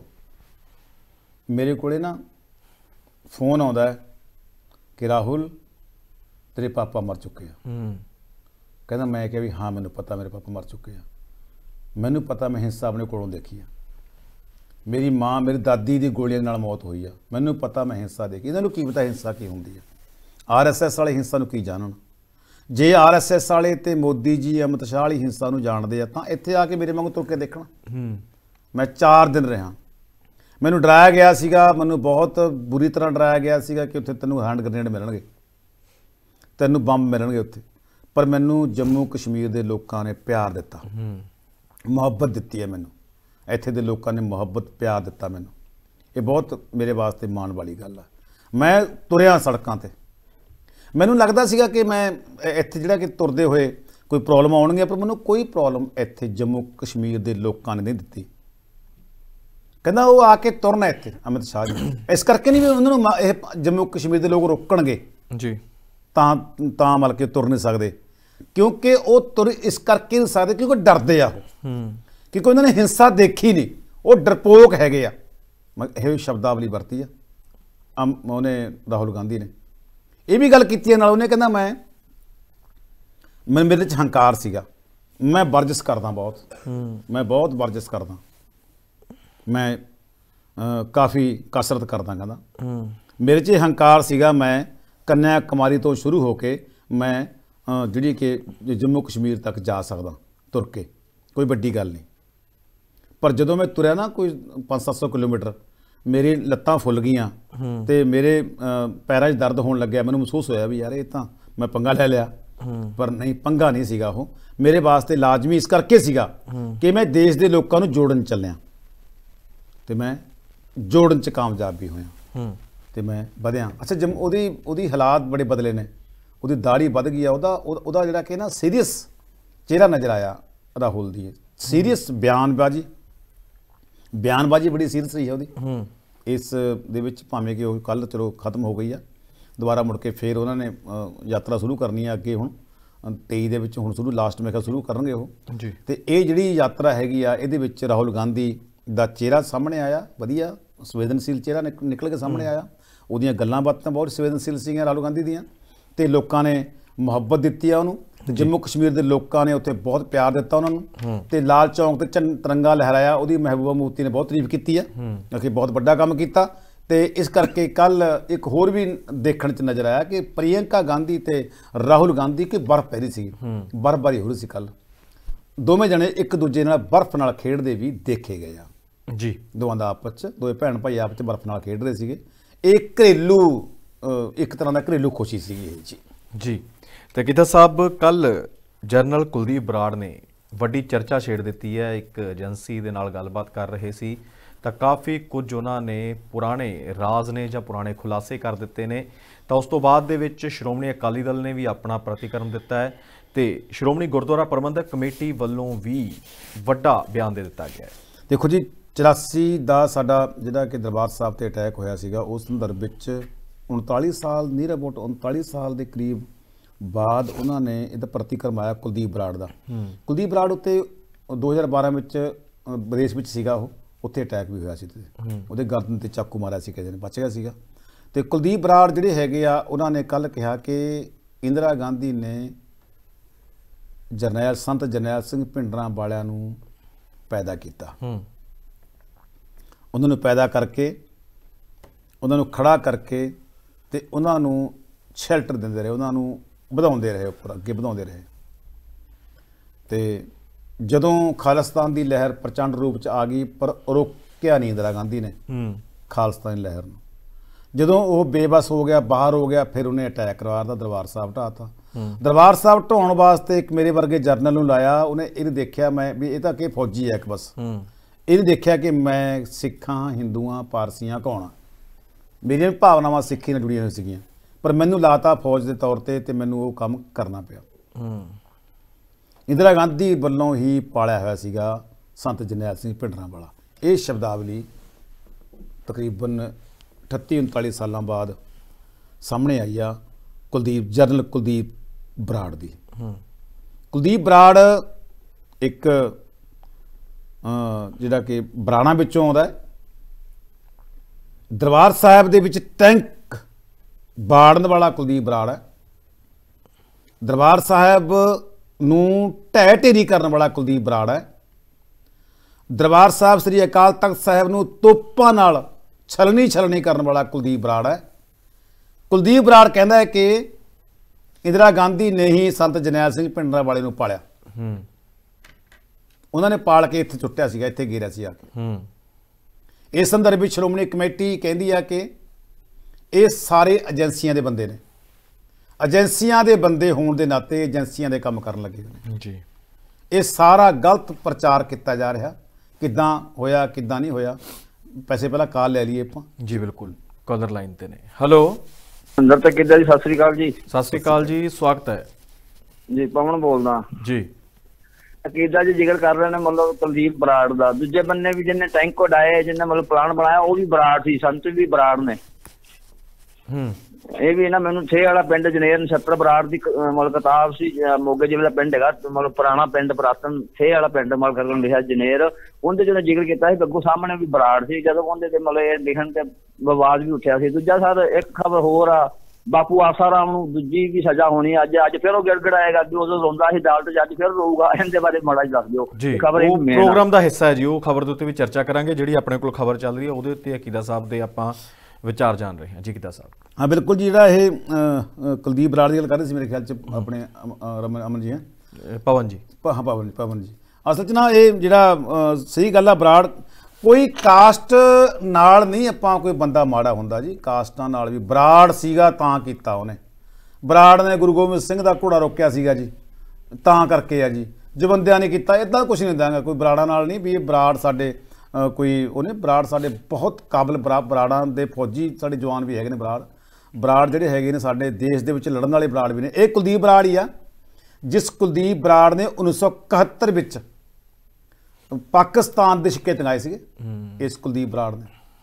ਇਹ ਮਤਲਬ ਇਹ ਕੁਲਦੀਪ ਉਹੀ ਕੁਲਦੀਪ ਬਰਾੜ ਆ। 1971 ਦੇ ਵਿੱਚ ਇਸ ਬੰਦੇ ਨੇ ਮਤਲਬ ਕਿ ਵੀ ਉੱਥੇ ਜਿਹੜਾ ਕਿ ਪਾਕਿਸਤਾਨ ਨੂੰ ਬਾਣੀ ਪਾਤਾ ਸੀਗਾ। ਮਤਲਬ ਕਿ ਇਹ ਨਹੀਂ ਕੋਈ ਬਰਾੜ ਜਿਹੜੇ ਹੁੰਦੇ ਆ ਉਹ ਬਰਾੜ ਮਾੜੇ ਹੁੰਦੇ ਆ। ਆ ਗਿਆ ਹੁਣ ਨਾ ਉਹਦਾ ਕੁਲਦੀਪ ਬਰਾੜ ਤੁਹਾਨੂੰ ਲੈਣਾ ਪੈ ਰਿਹਾ ਕੁਲਦੀਪ ਬਰਾੜ। ਠੀਕ ਹੈ ਨਾ? ਤੇ ਵੈਸੇ ਤਾਂ ਜਿਹੜਾ ਕੋਈ ਗਰੀਬ ਜਾਤ ਜਾਤਾਂ ਹੁੰਦੇ ਨੇ ਗਰੀਬ ਕਾਸਟਾਂ ਹੁੰਦੇ ਨੇ ਲੋਕ ਉਹਨੂੰ ਕਹਿੰਦੇ ਆ ਦਿਖਾ ਦੇ ਆਪਣੀ ਜਾਤ। ਅਮੀਰ ਜਾਤਾਂ ਨੂੰ ਕੋਈ ਨਹੀਂ ਕਹਿੰਦਾ ਹੈਗਾ। ਪਰ ਕੋਈ ਜਾਤਾਂ ਕਾਸਟਾਂ ਨਾਲ ਅਮਨ ਜੀ ਕੁਛ ਨਹੀਂ ਹੁੰਦਾ ਅਮਨ ਜੀ। ਤੇ ਬਾਕੀ ਦੂਜੀ ਗੱਲ ਹੈਗੀ ਆ ਇਹ ਕਿ ਸ਼੍ਰੋਮਣੀ ਕਮੇਟੀ ਨੇ ਇਹਦੀ ਨਿੰਦਿਆ ਕੀਤੀ ਆ ਜੀ ਸ਼੍ਰੋਮਣੀ ਅਕਾਲੀ ਦਲ ਵੀ ਨਿੰਦਿਆ ਕਰ ਤੇ ਇਹ ਮੁੱਦਾ ਬਣਦਾ ਹੁਣ ਵੱਡਾ ਮੁੱਦਾ ਬਣ ਜਾਣਾ ਤੇ ਇਹ ਮਾਮੂਲੀ ਜਿਹਾ ਮੁੱਦਾ ਨਹੀਂ ਰਹਿਣਾ ਹੈਗਾ ਕਿਉਂਕਿ ਇਹ ਮੁੱਦੇ ਇਹ ਸਿੱਖਾਂ ਸਿੱਖਾਂ ਦੇ ਜ਼ਖਮ ਨੇ ਜੀ ਇਹ। ਦਰਬਾਰ ਸਾਹਿਬ ਤੇ ਅਟੈਕ ਕਰਨਾ ਸਿੱਖਾਂ ਦੇ ਅੱਲੇ ਜ਼ਖਮ ਨੇ ਜੀ ਕੋਈ ਇਹ ਜ਼ਖਮ ਬੰਦ ਨਹੀਂ ਹੋ ਗਏ ਇਹ ਤਾਂ ਖੁੱਲੇ ਨੇ ਬਿਲਕੁਲ ਹੀ। ਜਦੋਂ ਮੜ ਜੀ ਗੱਲ ਅਜੇ ਤੱਕ ਵੀ ਇੰਦਰਾ ਗਾਂਧੀ ਦੇ ਪਰਿਵਾਰ ਨੂੰ ਸਰੂਪਾ ਨਹੀਂ ਦਿੱਤਾ ਗਿਆ ਉੱਥੇ। ਨਾ ਹੀ ਵੀਆਈਪੀ ਟ੍ਰੀਟਮੈਂਟ ਦਿੱਤਾ ਗਿਆ ਦਰਬਾਰ ਸਾਹਿਬ ਦੇ ਵਿੱਚ। ਅਜੇ ਤੱਕ ਵੀ ਆਮ ਆਮ ਵਾਂਗੂ ਆਉਂਦੇ ਆ ਇੱਥੇ ਉਹ। ਚਾਹੇ ਪ੍ਰਧਾਨ ਮੰਤਰੀ ਰਹਿ ਚੁੱਕੇ ਆ ਉਹ। ਜੀ। ਤੇ ਇਹ ਕੁਛ ਨਹੀਂ ਇਸ ਇਹਦਾ ਮਤਲਬ ਇਹ ਆ ਕਿ ਅਸੀਂ ਆਪਣੇ ਦਰਬਾਰ ਸਾਹਿਬ ਤੇ ਸਾਡਾ ਜਿਹੜਾ ਕਿ ਸਭ ਤੋਂ ਵੱਡਾ ਸਾਡਾ ਜਿਹੜਾ ਆਪਾਂ ਮੱਕਾ ਕਹਿੰਦੇ ਆ ਇਹਨੂੰ ਸਭ ਤੋਂ ਵੱਡਾ ਸਾਡਾ ਧਾਰਮਿਕ ਸਥਾਨ ਹੈਗਾ। ਤੇ ਇਸ ਨੂੰ ਛਲਣੇ ਛਲਣੇ ਕੀਤਾ ਕਦੇ ਭੁੱਲ ਨਹੀਂ ਸਕਦੇ ਆਪਾਂ ਇਹਨੂੰ। ਜੀ। ਜੀ ਤੇ ਸਾਹਿਬ, ਵਿਕਰਮ ਮਜੀਠੀਆ ਦੀਆਂ ਮੁਸ਼ਕਲਾਂ ਵਧਦੀਆਂ ਹੋਈਆਂ ਨਜ਼ਰ ਆ ਰਹੀਆਂ ਨੇ, ਸਜ਼ਾ ਵੀ ਕਹਿੰਦੇ ਹੋ ਸਕਦੀ ਹੈ। ਤੇ ਦੂਜੇ ਪਾਸੇ ਸੁਪਰੀਮ ਕੋਰਟ ਤੱਕ ਵੀ ਇਹ ਮਾਮਲਾ ਇਹਨਾਂ ਦਾ ਮਜੀਠੀਆ ਸਾਹਿਬ ਦਾ ਪਹੁੰਚਿਆ ਉਹ ਮਜੀਠੀਆ ਸਾਹਿਬ ਤੇ ਸੁਰਜੀਤ ਸਿੰਘ ਰਖੜਾ ਹੋ ਗਏ, ਵਿਕਰਮ ਮਜੀਠੀਆ ਹੋ ਗਏ, ਹੋਰ ਬਹੁਤ ਸਾਰੇ ਲੀਡਰ ਸੀਗੇ, ਜਿਹੜੇ ਕਿ ਸਾਬਕਾ ਮੁੱਖ ਮੰਤਰੀ 2021 ਦੇ ਵਿੱਚ ਉਹਨਾਂ ਦੀ ਕੋਠੀ ਦਾ ਘਰਾਓ ਕਰਨ ਵਾਸਤੇ ਗਏ ਸੀਗੇ ਪੰਜਾਬ ਦੇ। ਤੇ ਪੰਜਾਬ ਦੇ ਮੁੱਦਿਆਂ ਨੂੰ ਲੈ ਕੇ। ਖੁੱਲੜਬਾਜੀ ਕੀਤੀ ਪੁਲਿਸ ਦੇ ਨਾਲ ਪੁਲਿਸ ਨੇ ਇਹਨਾਂ ਦੇ ਖਿਲਾਫ ਕੇਸ ਦਰਜ ਕਰ ਲਿਆ। 188 ਤਹਿਤ ਅਫਸਰਾਂ ਦੀਆਂ ਡਿਊਟੀਆਂ ਵਿੱਚ ਦਖਲਅੰਦਾਜ਼ੀ ਕੀਤੀ। ਜੇਕਰ ਪੂਰੀ ਤਰ੍ਹਾਂ ਕੇਸ ਬਣਤਾ ਚੰਡੀਗੜ੍ਹ ਪੁਲਿਸ ਨੇ ਹੂੰ। 2 ਸਾਲ ਤੱਕ ਸਜ਼ਾ ਹੋ ਸਕਦੀ ਹੈ ਇਹਨਾਂ ਨੂੰ। ਜੇ ਪੂਰੀ ਤਰ੍ਹਾਂ ਕੇਸ ਬੰਨਿਆ ਗਿਆ 2 ਸਾਲ ਤੱਕ। ਪਹਿਲਾਂ ਤਾਂ ਪੇਸ਼ ਹੀ ਨਹੀਂ ਹੋਏ ਆਪਣੇ ਆਪਣਾ ਪਹਿਲਾਂ ਤਾਂ ਪੇਸ਼ ਨਹੀਂ ਹੋਏ। ਫਿਰ ਦੁਬਾਰੇ ਮੁੜ ਕੇ ਫਿਰ ਪੇਸ਼ ਹੋਣ ਵਾਸਤੇ ਕਿਹਾ ਉਹਨਾਂ ਨੂੰ। ਤੇ ਫਿਰ 30 ਨੂੰ ਕੱਲ ਪੇਸ਼ ਹੋਏ ਸੀਗੇ ਮਜੀਠੀਆ ਸਾਹਿਬ। ਮੇਰੇ ਸਾਹਿਬ ਦੇ ਉੱਪਰ ਇੱਕ ਹੋਰ ਮਾਮਲਾ ਚੱਲ ਰਿਹਾ। ਇੱਕ ਤਾਂ ਇਹ ਚਲੋ ਇਹਦਾ ਪੇਸ਼ੀ ਹੋਇਆ ਤੇ ਕਾਰਵਾਈ ਚੱਲਣੀ ਆ ਅਜੇ। ਤੇ ਹੁਣ ਮਜੀਠੀਆ ਸਾਹਿਬ ਦੀ ਜ਼ਮਾਨਤ ਹੋਈ ਸੀਗੀ ਨਸ਼ੇ ਦੇ ਮਾਮਲੇ ਦੇ ਵਿੱਚ। ਹੂੰ। ਉਸ ਸੰਦਰਭ ਵਿੱਚ ਪੰਜਾਬ ਸਰਕਾਰ ਸੁਪਰੀਮ ਕੋਰਟ ਗਈ ਆ।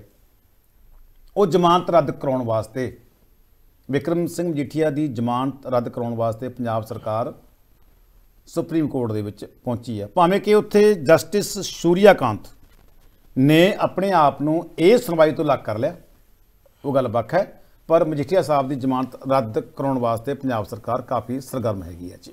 ਜੀ, ਤੇ ਸਾਬਕਾ ਮੰਤਰੀ ਓਪੀ ਸੋਨੀ, ਉਹਨਾਂ ਦੇ ਘਰ ਦੀ ਪੈਮਾਸ਼ ਕੀਤੀ ਗਈ ਹੈ। ਵਿਜੀਲੈਂਸ ਦੇ ਰਡਾਰ ਦੇ ਉੱਤੇ ਕਈ ਮੰਤਰੀ ਆਏ ਹੋਏ ਨੇ ਜੋ ਸਾਬਕਾ ਨੇ, ਤੇ ਉਹਨਾਂ ਦੇ ਵਿੱਚੋਂ ਪ੍ਰਗਟ ਸਿੰਘ, ਸਾਬਕਾ ਖੇਡ ਮੰਤਰੀ, ਉਹ ਵੀ ਰਡਾਰ ਦੇ ਉੱਤੇ ਆ ਚੁੱਕੇ ਨੇ ਤੇ ਕਿੱਕੀ ਢਿੱਲੋਂ ਕੁਸ਼ਲਦੀਪ ਸਿੰਘ ਕਿੱਕੀ ਢਿੱਲੋਂ ਕਿਹਾ ਜਾਂਦਾ ਫਰੀਦਕੋਟ ਤੋਂ ਸਾਬਕਾ ਵਿਧਾਇਕ ਨੇ। ਉਹ ਵੀ ਰਡਾਰ ਦੇ ਉੱਤੇ ਆ ਚੁੱਕੇ ਨੇ ਵਿਜੀਲੈਂਸ ਦੀ। ਜੀ। ਦੇਖੋ ਸਾਬਕਾ ਮੰਤਰੀ ਓਪੀ ਸੋਨੀ ਹੈਗੇ ਆ। ਅੰਮ੍ਰਿਤਸਰ ਦੇ ਵਿੱਚ ਇਹਨਾਂ ਦੀ ਨਿੱਜੀ ਘਰ ਹੈਗਾ ਨਵਾਂ ਬਣਾਇਆ ਘਰ ਵੀ ਹੈਗਾ। ਉੱਥੇ ਦੀ ਪਮੈਸ ਕੀਤੀ ਗਈ ਹੈ ਵਿਜੀਲੈਂਸ ਵੱਲੋਂ। ਵੀ ਪਮੈਸ ਕੀਤੀ ਗਈ ਆ ਤੇ ਉਹਨਾਂ ਦੇ ਜਿਹੜਾ ਕਿ ਵੀ ਕਿੱਦਾਂ ਇਹਨਾਂ ਨੇ ਜਦਾਦ ਬਣਾਈ ਆ। ਕਿੱਕੀ ਢਿੱਲੋਂ ਦੀ ਨੂੰ ਬੁਲਾਇਆ ਗਿਆ ਸੀ ਕੱਲ ਬਿਜ਼ਨਸ ਵੱਲੋਂ। ਕਿੱਕੀ ਢਿੱਲੋਂ ਆਪਣਾ ਇਨਕਮ ਟੈਕਸ ਵਾਲਾ ਵਕੀਲ ਨਾਲ ਲੈ ਕੇ ਆਏ ਸੀ। ਉਹਨਾਂ ਨੂੰ ਪੁੱਛਿਆ ਗਿਆ ਕਿ ਭਾਈ ਤੁਹਾਡੀ ਇੰਨੀ ਜਦਾਦ ਅਚਾਨਕ ਕਿੱਦਾਂ ਵਧ ਗਈ? ਇੰਨੇ ਪ੍ਰਾਪਰਟੀ ਤੁਹਾਡੇ ਕਿੱਦਾਂ ਆ ਗਈ ਇਹਦੀ ਸਾਬਕਾ ਵਿਧਾਇਕ ਨੇ ਇਹ ਕਿੱਕੀ ਢਿੱਲੋਂ ਸਾਬਕਾ ਵਿਧਾਇਕ ਹੈਗੇ ਨੇ ਫਰੀਦਕੋਟ ਦੇ। ਤੇ ਇਹਨਾਂ ਨੂੰ ਪੁੱਛਿਆ ਗਿਆ ਭਾਈ ਤੇਰਾ ਇੰਨੀ ਇੰਨੀ ਪ੍ਰਾਪਰਟੀ ਕਿਵੇਂ ਵਧ ਗਈ? ਤੇ ਇਹ ਤੋਂ ਪੁੱਛਗਿੱਛ ਕੀਤੀ ਗਈ। ਅੱਜ ਪੁੱਛਗਿੱਛ ਕੀਤੀ ਗਈ ਹੈ। ਪ੍ਰਗਟ ਸਿੰਘ ਵੀ ਜਾਂਚ ਦੇ ਘੇਰੇ 'ਚ ਆ ਗਿਆ। ਸਪੋਰਟਸ ਕਿੱਟਾਂ ਆਪਾਂ ਚਰਚਾ ਕੀਤੀ ਸੀ ਪਹਿਲਾਂ ਕਦੇ। ਸਪੋਰਟਸ ਕਿੱਟਾਂ ਖੇਡ ਕਿੱਟਾਂ ਦੇ ਵਿੱਚ ਕੋਈ ਲੱਖਾਂ ਦਾ ਕਪੜਾ ਹੈਗਾ। ਉਸ ਲੱਖਾਂ ਦੇ ਕਪੜੇ ਕਥਿਤ ਤੌਰ ਤੇ ਕਪੜਾ ਹੈਗਾ। ਅਜੇ ਜਾਂਚ ਚੱਲ ਰਹੀ ਹੈ ਸਾਨੂੰ। ਤਾਂ ਪਤਾ ਹੀ ਲੱਗਿਆ ਜੀ ਸਾਨੂੰ ਇਸ ਬਾਰੇ ਕੋਈ ਸਬੂਤ ਨਹੀਂ ਹੈ ਵੀ ਕਪੜਾ ਹੈਗਾ ਵੀ ਹੈ ਕਿ ਨਹੀਂ ਹੈਗਾ। ਤੇ ਉਸ ਸੰਦਰਭ ਵਿੱਚ ਪ੍ਰਗਟ ਸਿੰਘ ਨੂੰ ਵੀ ਜਾਂਚ ਦੇ ਘੇਰੇ ਵਿੱਚ ਲਿਆ ਜਾ ਰਿਹਾ ਹੈ। ਪ੍ਰਗਟ ਸਿੰਘ ਸਪੋਰਟਸ ਮੰਤਰੀ ਸੀਗੇ। ਉਹਨਾਂ ਨੂੰ ਜਾਂਚ ਚ ਘੇਰੇ ਲਿਆ ਜਾ ਰਿਹਾ। ਬੜਾ ਬੇਬਾਕ ਬੰਦਾ ਹੈਗਾ। ਬੜਾ ਬੇਬਾਕੀਆਂ ਨਾਲ ਗੱਲ ਕਰਦਾ ਤੇ ਸਹੀ ਜਿਹਾ ਲੱਗਦਾ ਬੰਦਾ ਵੀ ਸੱਚਾ ਸੁੱਚਾ ਬੰਦਾ ਹੈਗਾ ਇਹ। ਪਰ ਇਸ ਨੂੰ ਵੀ ਜਾਂਚ ਦੇ ਘੇਰੇ ਵਿੱਚ ਲੈ ਲਿਆ ਗਿਆ ਪੰਜਾਬ ਸਰਕਾਰ ਵੱਲੋਂ ਜੀ।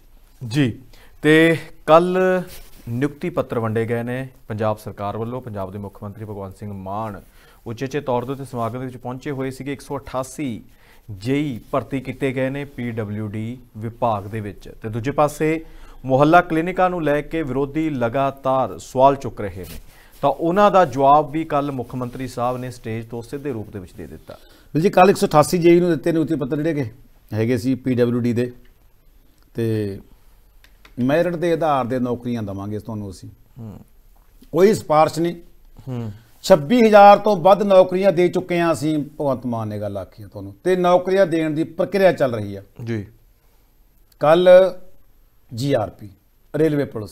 Railway police ਨੇ ਵੀ ਕੱਲ ਜਿਹੜਾ ਹੈਗਾ ਉਹ ਉਹਦੀ ਜਿਹੜੀ ਕਿ ਸ਼ਸ਼ੀ ਪ੍ਰਭਾ ਹੈਗੀ ਹੈ ਡੀਜੀਪੀ ਉਹ ਕੱਲ ਆਏ ਨੇ। ਉਹਨਾਂ ਨੇ ਕਿਹਾ ਕਿ ਸਾਡੇ ਕੋਲ ਨਫਰੀ ਘਾਟਾ ਸਾਡੀ ਭਰਤੀ ਚ ਕਰਾਉਣ ਦੀ ਲੋੜ ਹੈਗੀ ਆ। ਤੇ ਉਹ ਹੋ ਗਿਆ। ਤੇ ਨਾਲ ਦੀ ਨਾਲ ਕੱਲ ਭਗਵੰਤ ਮਾਨ ਨੇ ਜਿਹੜੇ ਕਿ ਮੁਹੱਲਾ ਕਲੀਨਿਕਾਂ ਦੇ ਲਈ ਸ਼੍ਰੋਮਣੀ ਅਕਾਲੀ ਦਲ ਕਹਿ ਰਿਹਾ ਕਿ ਸਾਡੇ ਬਣਾਏ ਹੋਏ ਕਲੀਨਿਕਾਂ ਦੇ ਉੱਪਰ ਕਬਜ਼ਾ ਕਰਕੇ Aam Aadmi party clinic Aam Aadmi clinic ਬਣਾਤੇ ਆ। ਕਹਿੰਦਾ ਇਹ ਗਲਤ ਉਹ ਕਹਿੰਦਾ ਆਮ ਆਦਮੀ ਕਲੀਨਿਕ ਜਿਹੜੇ ਕਿ ਤੁਸੀਂ ਖੰਡਰ ਬਣਾ ਦਿੱਤੇ ਸੀ ਹੂੰ। ਡਿਸਪੈਂਸਰੀ ਤੇ ਤੁਸੀਂ ਪੈਸਾ ਲਾਤਾ ਉੱਥੇ ਪਸ਼ੂ ਖੜੇ ਸੀਗੇ ਲੋਕ ਪਾਥੀਆਂ ਪਾਥਦੇ ਸੀਗੇ ਉੱਥੇ। ਉੱਥੇ ਬੁਰੀ ਤਰ੍ਹਾਂ ਆਏ ਸੀ ਦੋ ਕਮਰੇ ਬਣਾ ਕੇ ਅਸੀਂ ਉੱਥੇ ਉਹਨਾਂ ਦੇ ਵਿੱਚ ਅਸੀਂ ਡਿਸਪੈਂਸਰੀ ਬਣਾਤੀ ਤੇ ਉਹਦੇ ਵਿੱਚ ਡਾਕਟਰ ਬਿਠਾਤੇ ਦਵਾਈਆਂ ਰੱਖਤੀਆਂ ਇਹ 'ਚ ਕੀ ਮਾੜਾ ਕੀਤਾ ਸੀ? ਨਾਲੇ ਤੁਹਾਡੀ ਕੋਈ ਉੱਥੇ ਤੁਸੀਂ ਆਪਣੇ ਕੋਲੋਂ ਪੈਸੇ ਦੇ ਕੇ ਬਣਾਏ ਸੀ ਉਹ? ਉਸ ਟਾਈਮ ਵੀ ਪੰਜਾਬ ਸਰਕਾਰ ਦਾ ਪੈਸਾ ਲੱਗਿਆ ਸੀਗਾ ਹੁਣ ਵੀ ਪੰਜਾਬ ਸਰਕਾਰ ਦਾ ਪੈਸਾ ਲੱਗਿਆ। ਤੁਸੀਂ ਤਾਂ ਆਪਣੇ ਕੋਲੋਂ ਨਹੀਂ ਬਣਾਏ। ਮੈਂ ਤਾਂ ਇੱਕ ਵਾਰ ਪਹਿਲਾਂ ਇਹ ਗੱਲ ਕਹੀ ਸੀ ਕਿ ਭਗ- ਭਗਵੰਤ ਮਾਨ ਨੇ ਕਿ ਇਹ ਕਿਹੜਾ ਪੰਜਾਬ ਤੁਹਾਡੇ ਬਾਪ ਦਾ ਕਿਹੜਾ?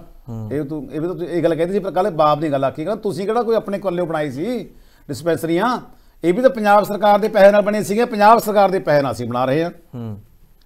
ਪਰ ਨਾ ਕਈ ਥਾਵਾਂ ਉੱਤੇ ਕਈ ਥਾਂ ਤੇ ਬੜੇ ਅੱਛੇ ਹਸਪਤਾਲ ਸੀਗੇ। ਜਿਵੇਂ ਕਿ ਪਟਿਆਲੇ ਜ਼ਿਲ੍ਹੇ ਵਿੱਚ ਸਨੌਰ ਹੈਗਾ। ਹੂੰ।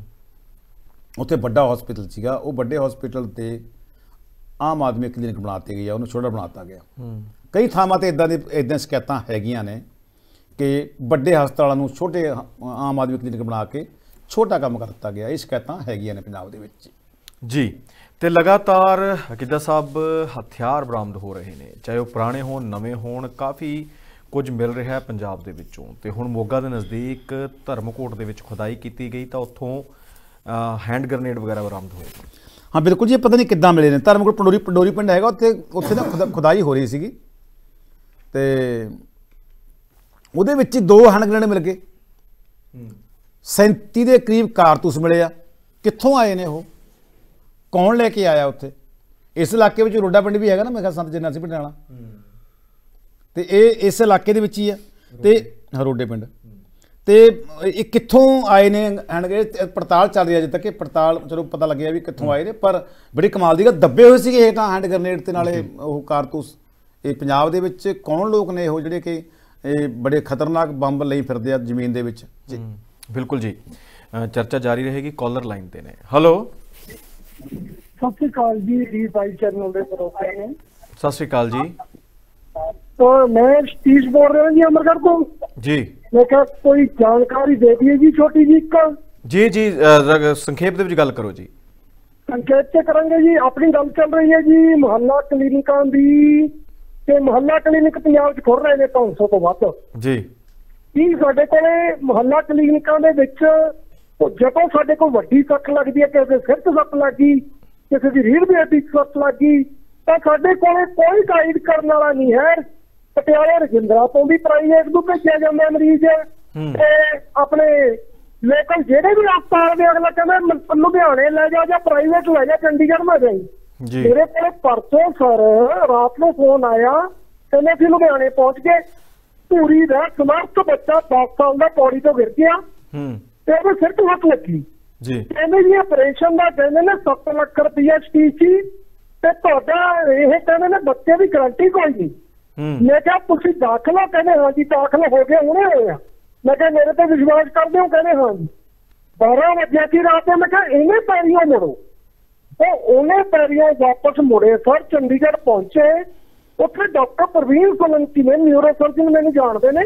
ਜੀ। ਮੈਂ ਉਹਨਾਂ ਨੂੰ ਫੋਨ ਕੀਤਾ ਰਾਤ ਨੂੰ 1 ਵਜੇ। ਜੀ ਜੀ। ਰਾਤੋਂ ਰਾਤ ਆਪਰੇਸ਼ਨ ਕੀਤਾ ਜੀ ਆਯੁਸ਼ਮਾਨ ਕਾਰਡ ਤੇ। ਕੋਈ ਪੈਸਾ ਨਹੀਂ ਲੱਗਿਆ। ਉਹ ਬੱਚਾ ਅੱਜ ਛੁੱਟੀ ਹੋ ਕੇ ਵਾਪਸ ਧੂਰੀ ਜਾ ਰਿਹਾ। ਜੀ। ਅੱਛਾ ਸਤੀਸ਼ ਜੀ ਤੁਸੀਂ ਮੇਰੇ ਖਿਆਲ ਦੇ ਵਿੱਚ ਐਂਬੂਲੈਂਸ ਆਪਰੇਟ ਕਰਦੇ ਹੋ। ਨਹੀਂ ਮੇਰੇ ਕੋਲ ਆਮ ਟੈਕਸੀ ਹੈ ਪਰ ਮੈਂ ਚਲਾਉਂਦਾ ਹੀ 25 ਸਾਲ ਦਾ ਉੱਥੇ ਨੂੰ ਆ। ਬੱਚੇ ਬਾਹਰ ਨੇ। ਮੈਂ ਵੀ ਆਸਟ੍ਰੇਲੀਆ ਰਿਹਾ ਨਹੀਂ ਮੈਂ ਇੱਥੇ ਜੇ ਮੈਨੂੰ ਪੈਸਿਆਂ ਦੀ ਲੋੜ ਹੈ ਸਮਾਜ ਸੇਵਾ ਲਈ ਤਾਂ ਮੈਂ ਕੰਮ ਕਰਕੇ ਪੈਸੇ ਬਣਾਉਣਾ ਟੈਕਸੀ ਚਲਾ। ਜੀ ਜੀ ਜੀ ਮਿਹਰਬਾਨੀ ਮਿਹਰਬਾਨੀ ਸਤੀਸ਼ ਜੀ ਮਿਹਰਬਾਨੀ ਤੁਹਾਡੀ। ਕੱਲ ਵੀ ਇਹ ਕਿਦਾਂ ਸਾਹਿਬ ਇਹਨਾਂ ਨੇ ਨਾ ਫੋਨ ਕਾਲ ਕੀਤੀ ਸੀ ਕਹਿੰਦੇ ਕਿ ਜਿਵੇਂ ਕਿਸੇ ਦੇ ਸਟੰਟ ਪੈਣਾ ਹੈ ਕਿਸੇ ਦੇ ਪੇਸਮੇਕਰ ਛੋਟੇ ਜਿਹੜੇ ਹਸਪਤਾਲ ਨੇ ਪ੍ਰਾਈਵੇਟ ਨੇ ਉਹ ਕਹਿ ਦਿੰਦੇ ਨੇ ਵੀ ਇੰਨਾ ਖਰਚਾ ਹੋਊਗਾ ਪਾ ਦਿੰਨੇ ਆ। ਨਹੀਂ ਤਾਂ ਤੁਸੀਂ ਆਪਣਾ ਮਰੀਜ਼ ਚੰਡੀਗੜ੍ਹ ਲੈ ਜਾਓ। ਉਹ ਕਹਿੰਦੇ ਮੈਂ ਲੈ ਕੇ ਜਾਣਾ ਆਪਣੀ ਟੈਕਸੀ ਰਾਹੀਂ ਚੰਡੀਗੜ੍ਹ ਲੈ ਕੇ ਜਾਣਾ ਜਾਂ ਵੱਡੇ ਹਸਪਤਾਲਾਂ ਦੇ ਵਿੱਚ ਲੈ ਕੇ ਜਾਣਾ ਤਾਂ ਉੱਥੇ ਜਾ ਕੇ ਉਹ ਕਹਿ ਦਿੰਦੇ ਨੇ ਕਿ ਅਜਿਹੀ ਤਾਂ ਕੋਈ ਨੌਬਤ ਹੀ ਨਹੀਂ ਆਈ ਸੀ ਜਿਹੜਾ ਤੁਸੀਂ ਬੰਦਾ ਇੱਥੇ ਚੱਕ ਲਿਆਏ ਵੀ ਬੰਦਾ ਤਾਂ ਤੁਹਾਡਾ ਬਿਲਕੁਲ ਠੀਕ ਹੈ। ਵੀ ਮਤਲਬ ਉਹ ਕਹਿੰਦੇ ਜੀ ਜਿਹੜੇ ਛੋਟੇ ਹਸਪਤਾਲ ਨੇ ਜਾਂ ਲੋਕਲ ਨੇ ਉਹ ਵੱਡੇ ਪੈਸੇ ਦੇ ਚੱਕਰ ਦੇ ਵਿੱਚ ਬੰਦੇ ਨੂੰ ਗੁੰਮਰਾਹ ਹੀ ਕਰ ਦਿੰਦੇ ਨੇ। ਕੱਲ ਵੀ ਇਹਨਾਂ ਨੇ ਇਹੀ ਗੱਲ ਕੀਤੀ ਸੀ ਤੇ ਅੱਜ ਫੇਰ ਉਹ ਦੱਸ ਹੀ ਰਹੇ ਨੇ ਕਿ ਜਿਵੇਂ ਦੇ ਹਾਲਾਤ ਬਣੇ ਹੋਏ ਨੇ ਜੀ। ਨਹੀਂ ਬਿਲਕੁਲ ਠੀਕ ਹੈ। ਤੇ ਇਹ ਗੱਲ ਤਾਂ ਹੁੰਦਾ ਜੀ ਆ ਉਹ ਛੋਟੇ ਹਸਪਤਾਲਾਂ ਦੇ ਅਸਲ 'ਚ ਹਸਪਤਾਲ ਛੋਟੇ ਨਹੀਂ ਕੋਈ ਜੋ ਮਰਜ਼ੀ ਜਿਹੜਾ ਪ੍ਰਾਈਵੇਟ ਹਸਪਤਾਲ ਆ ਨਾ ਜੀ ਵੱਡਾ ਹੀ ਭਾਵੇਂ ਛੋਟਾ ਹੋਵੇ ਉਹਦਾ ਕੰਮ ਹੈ ਪੈਸੇ ਕਮਾਉਣਾ। ਹੂੰ। ਇਹ ਡਰ ਦਾ ਵਪਾਰ ਹੈ ਜੀ। ਹੂੰ। ਅਸਲ 'ਚ ਡਾਕਟਰਾਂ ਦਾ ਜਿਹੜਾ ਵਪਾਰ ਡਰ ਦਾ ਵਪਾਰ ਜਿੰਨਾ ਵੱਧ ਡਰਾਉਣਗੇ ਡਾਕਟਰ ਉਨੇ ਹੀ ਵੱਧ ਪੈਸੇ ਦੇਊ ਬੰਦਾ ਅਗਲਾ। ਹੂੰ। ਮਰ ਗਿਆ ਜੀ ਖਤਮ ਹੋ ਗਿਆ ਜੀ ਤੁਸੀਂ ਤਾਂ ਖਤਮ ਕਰਤਾ ਜੀ ਕੰਮ ਥੋੜਾ ਤਾਂ ਮਰੀਜ਼ੇ ਥੋੜੇ ਦਿਨ ਵਾਲਾ ਜੀ। ਮ- ਮਤਲਬ ਕਿ ਵੀ ਸਟੰਟ ਬੰਦਾ ਵਾਲਾ ਤਾਂ ਮਾੜੀ ਜੀ ਗੱਲ ਹੋ ਜੇ ਸਟੰਟ ਪੈਣੀ ਪੈਣਾ ਉਹਦੇ ਬਸ।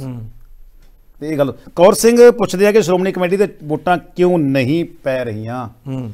ਇਹਦੇ ਪਿੱਛੇ ਨਾ ਜੀ ਗੱਲ ਚੱਲ ਗਈ ਸੀ ਵੀ ਨਾ ਇਹਨਾਂ ਨੇ ਨਾ 1900 ਮੇਰਾ 2002 ਦੇ ਵਿੱਚ ਦੀ ਗੱਲ ਹੈ ਹੂੰ। ਕਿ ਇੱਕ ਇੱਕ ਨਾ ਬਡੂੰਗਰ ਸਾਹਿਬ ਸੀਗੇ ਉਹਨਾਂ ਨੇ ਇੱਕ ਮਤਾ ਪਾਇਆ ਸੀਗਾ। ਉਹ ਭੇਜਤਾ ਸੀ ਕੇਂਦਰ ਸਰਕਾਰ ਦੇ ਕੋਲ ਕਿ ਸਹਿਜਧਾਰੀ ਸਿੱਖਾਂ ਸਿੱਖ ਜਿਹੜੇ ਹੈਗੇ ਆ ਸਾਡੇ ਵਿੱਚ ਨਹੀਂ ਆਉਂਦੇ ਉਹ। ਸਹਿਜਧਾਰੀ ਸਿੱਖ ਪੂਰੇ ਸਿੱਖ ਨਹੀਂ ਹੈਗੇ। ਮੈਂ ਸਹਿਜਧਾਰੀ ਸਿੱਖਾਂ ਨੂੰ ਹੀ ਆਪਣੇ ਮਤਲਬ ਕਿ ਆਪਣੇ ਭਾਈਆਂ ਨੂੰ ਹੀ ਆਪਣੇ ਦੂਰ ਕਰਤਾ ਸੀਗਾ ਇਹਨਾਂ ਨੇ। ਇਹ ਸ਼੍ਰੋਮਣੀ ਕਮੇਟੀ ਦੀ ਕਰਤੂਤ ਆ ਜਿਹੜੀ ਉਸ ਟਾਈਮ ਦੀ ਹੈਗੀ ਆ। ਬਡੂੰਗਰ ਸਾਹਿਬ ਸੀ ਉਸ ਟਾਈਮ ਮੇਰੇ ਖਿਆਲ ਪ੍ਰਧਾਨ। ਤੇ ਉਹਨਾਂ ਨੇ ਕਰਤੂਤ ਕੀਤੀ ਸੀ ਕਿ ਆਪਣੇ ਹੀ ਭਰਾਵਾਂ ਨੂੰ। ਸਹਿਜਧਾਰੀ ਸ- ਗੁਰੂ ਸਾਹਿਬ ਨੇ ਵੀ ਸਹਿਜਧਾਰੀ ਸਿੱਖ ਦਾ ਬੜਾ ਵੱਡਾ ਦਿੱਤਾ ਵੀ ਸਹਿਜ ਸਹਿਜ ਨਾਲ ਸੰਪੂਰਨ ਸਿੱਖ ਬਣਨਾ।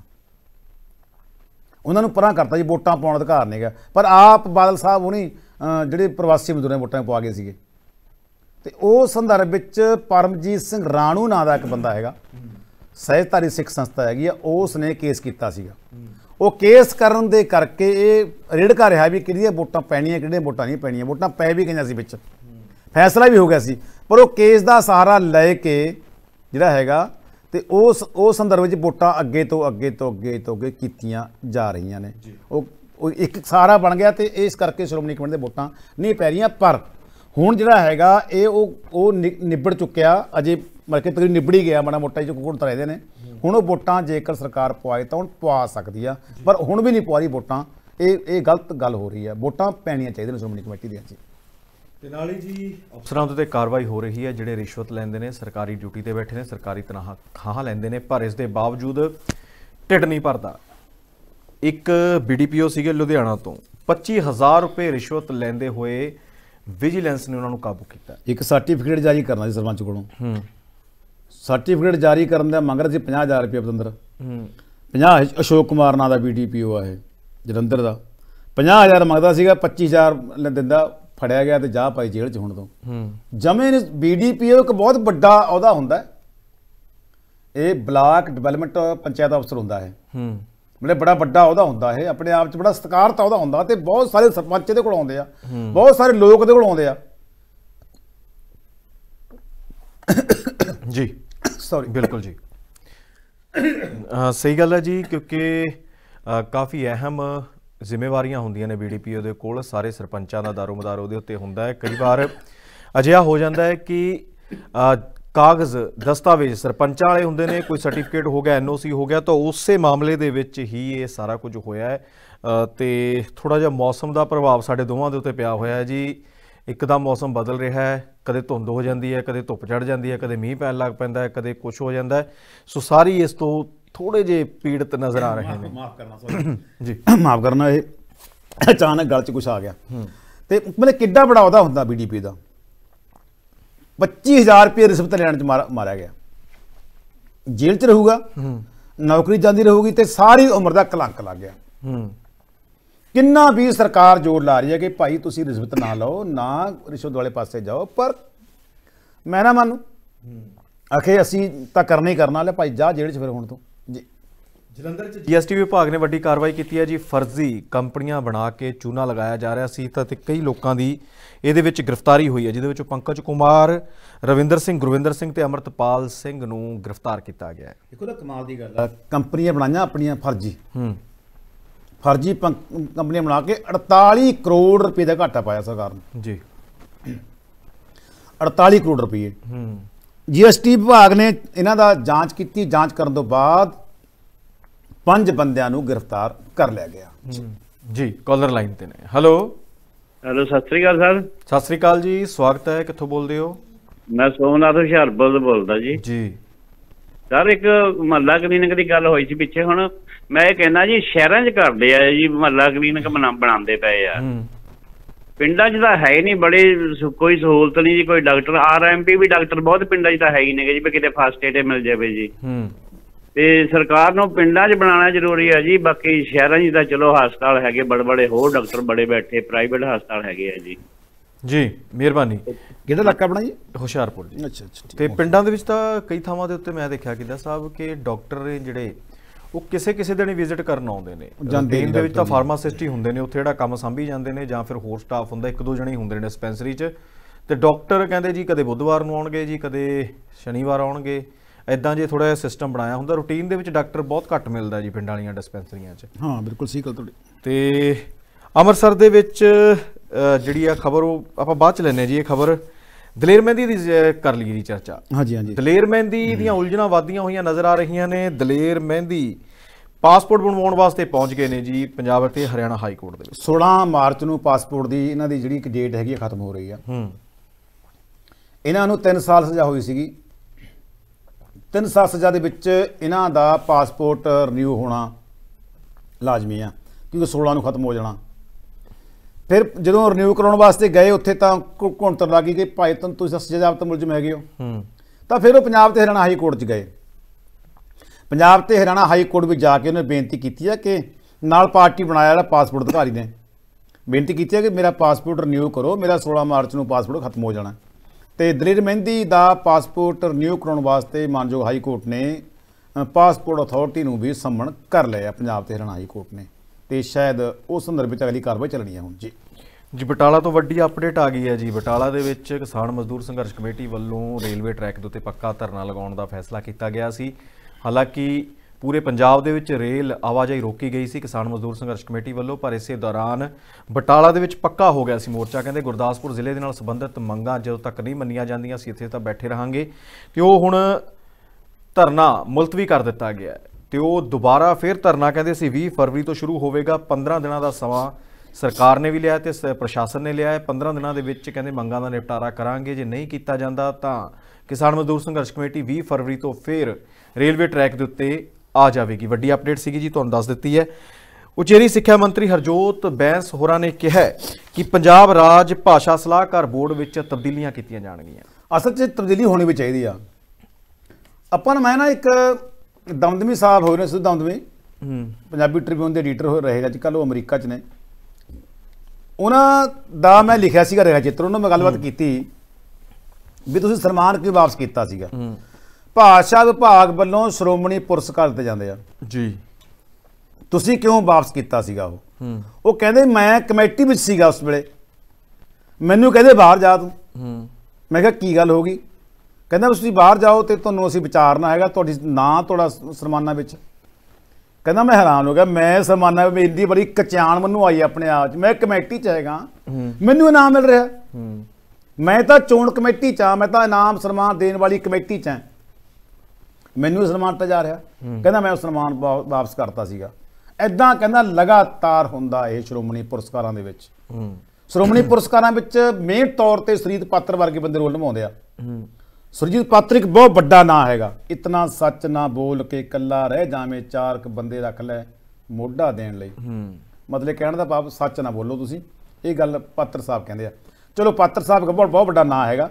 ਉਹ ਰਾਜ ਸਲਾਹਕਾਰ ਬੋਰਡ ਦੇ ਵਿੱਚ ਹੁੰਦੇ ਆ। ਤੇ ਨਿੰਦਰ ਕੁਗਿਆਣੀ ਵਰਗੇ ਬੰਦੇ ਜਿਹੜੇ ਹੈਗੇ ਆ ਉਹ ਕਈ ਕਈ ਵਾਰੀ ਪੁਰਸਕਾਰ ਲੈ ਲੈਂਦੇ ਆ।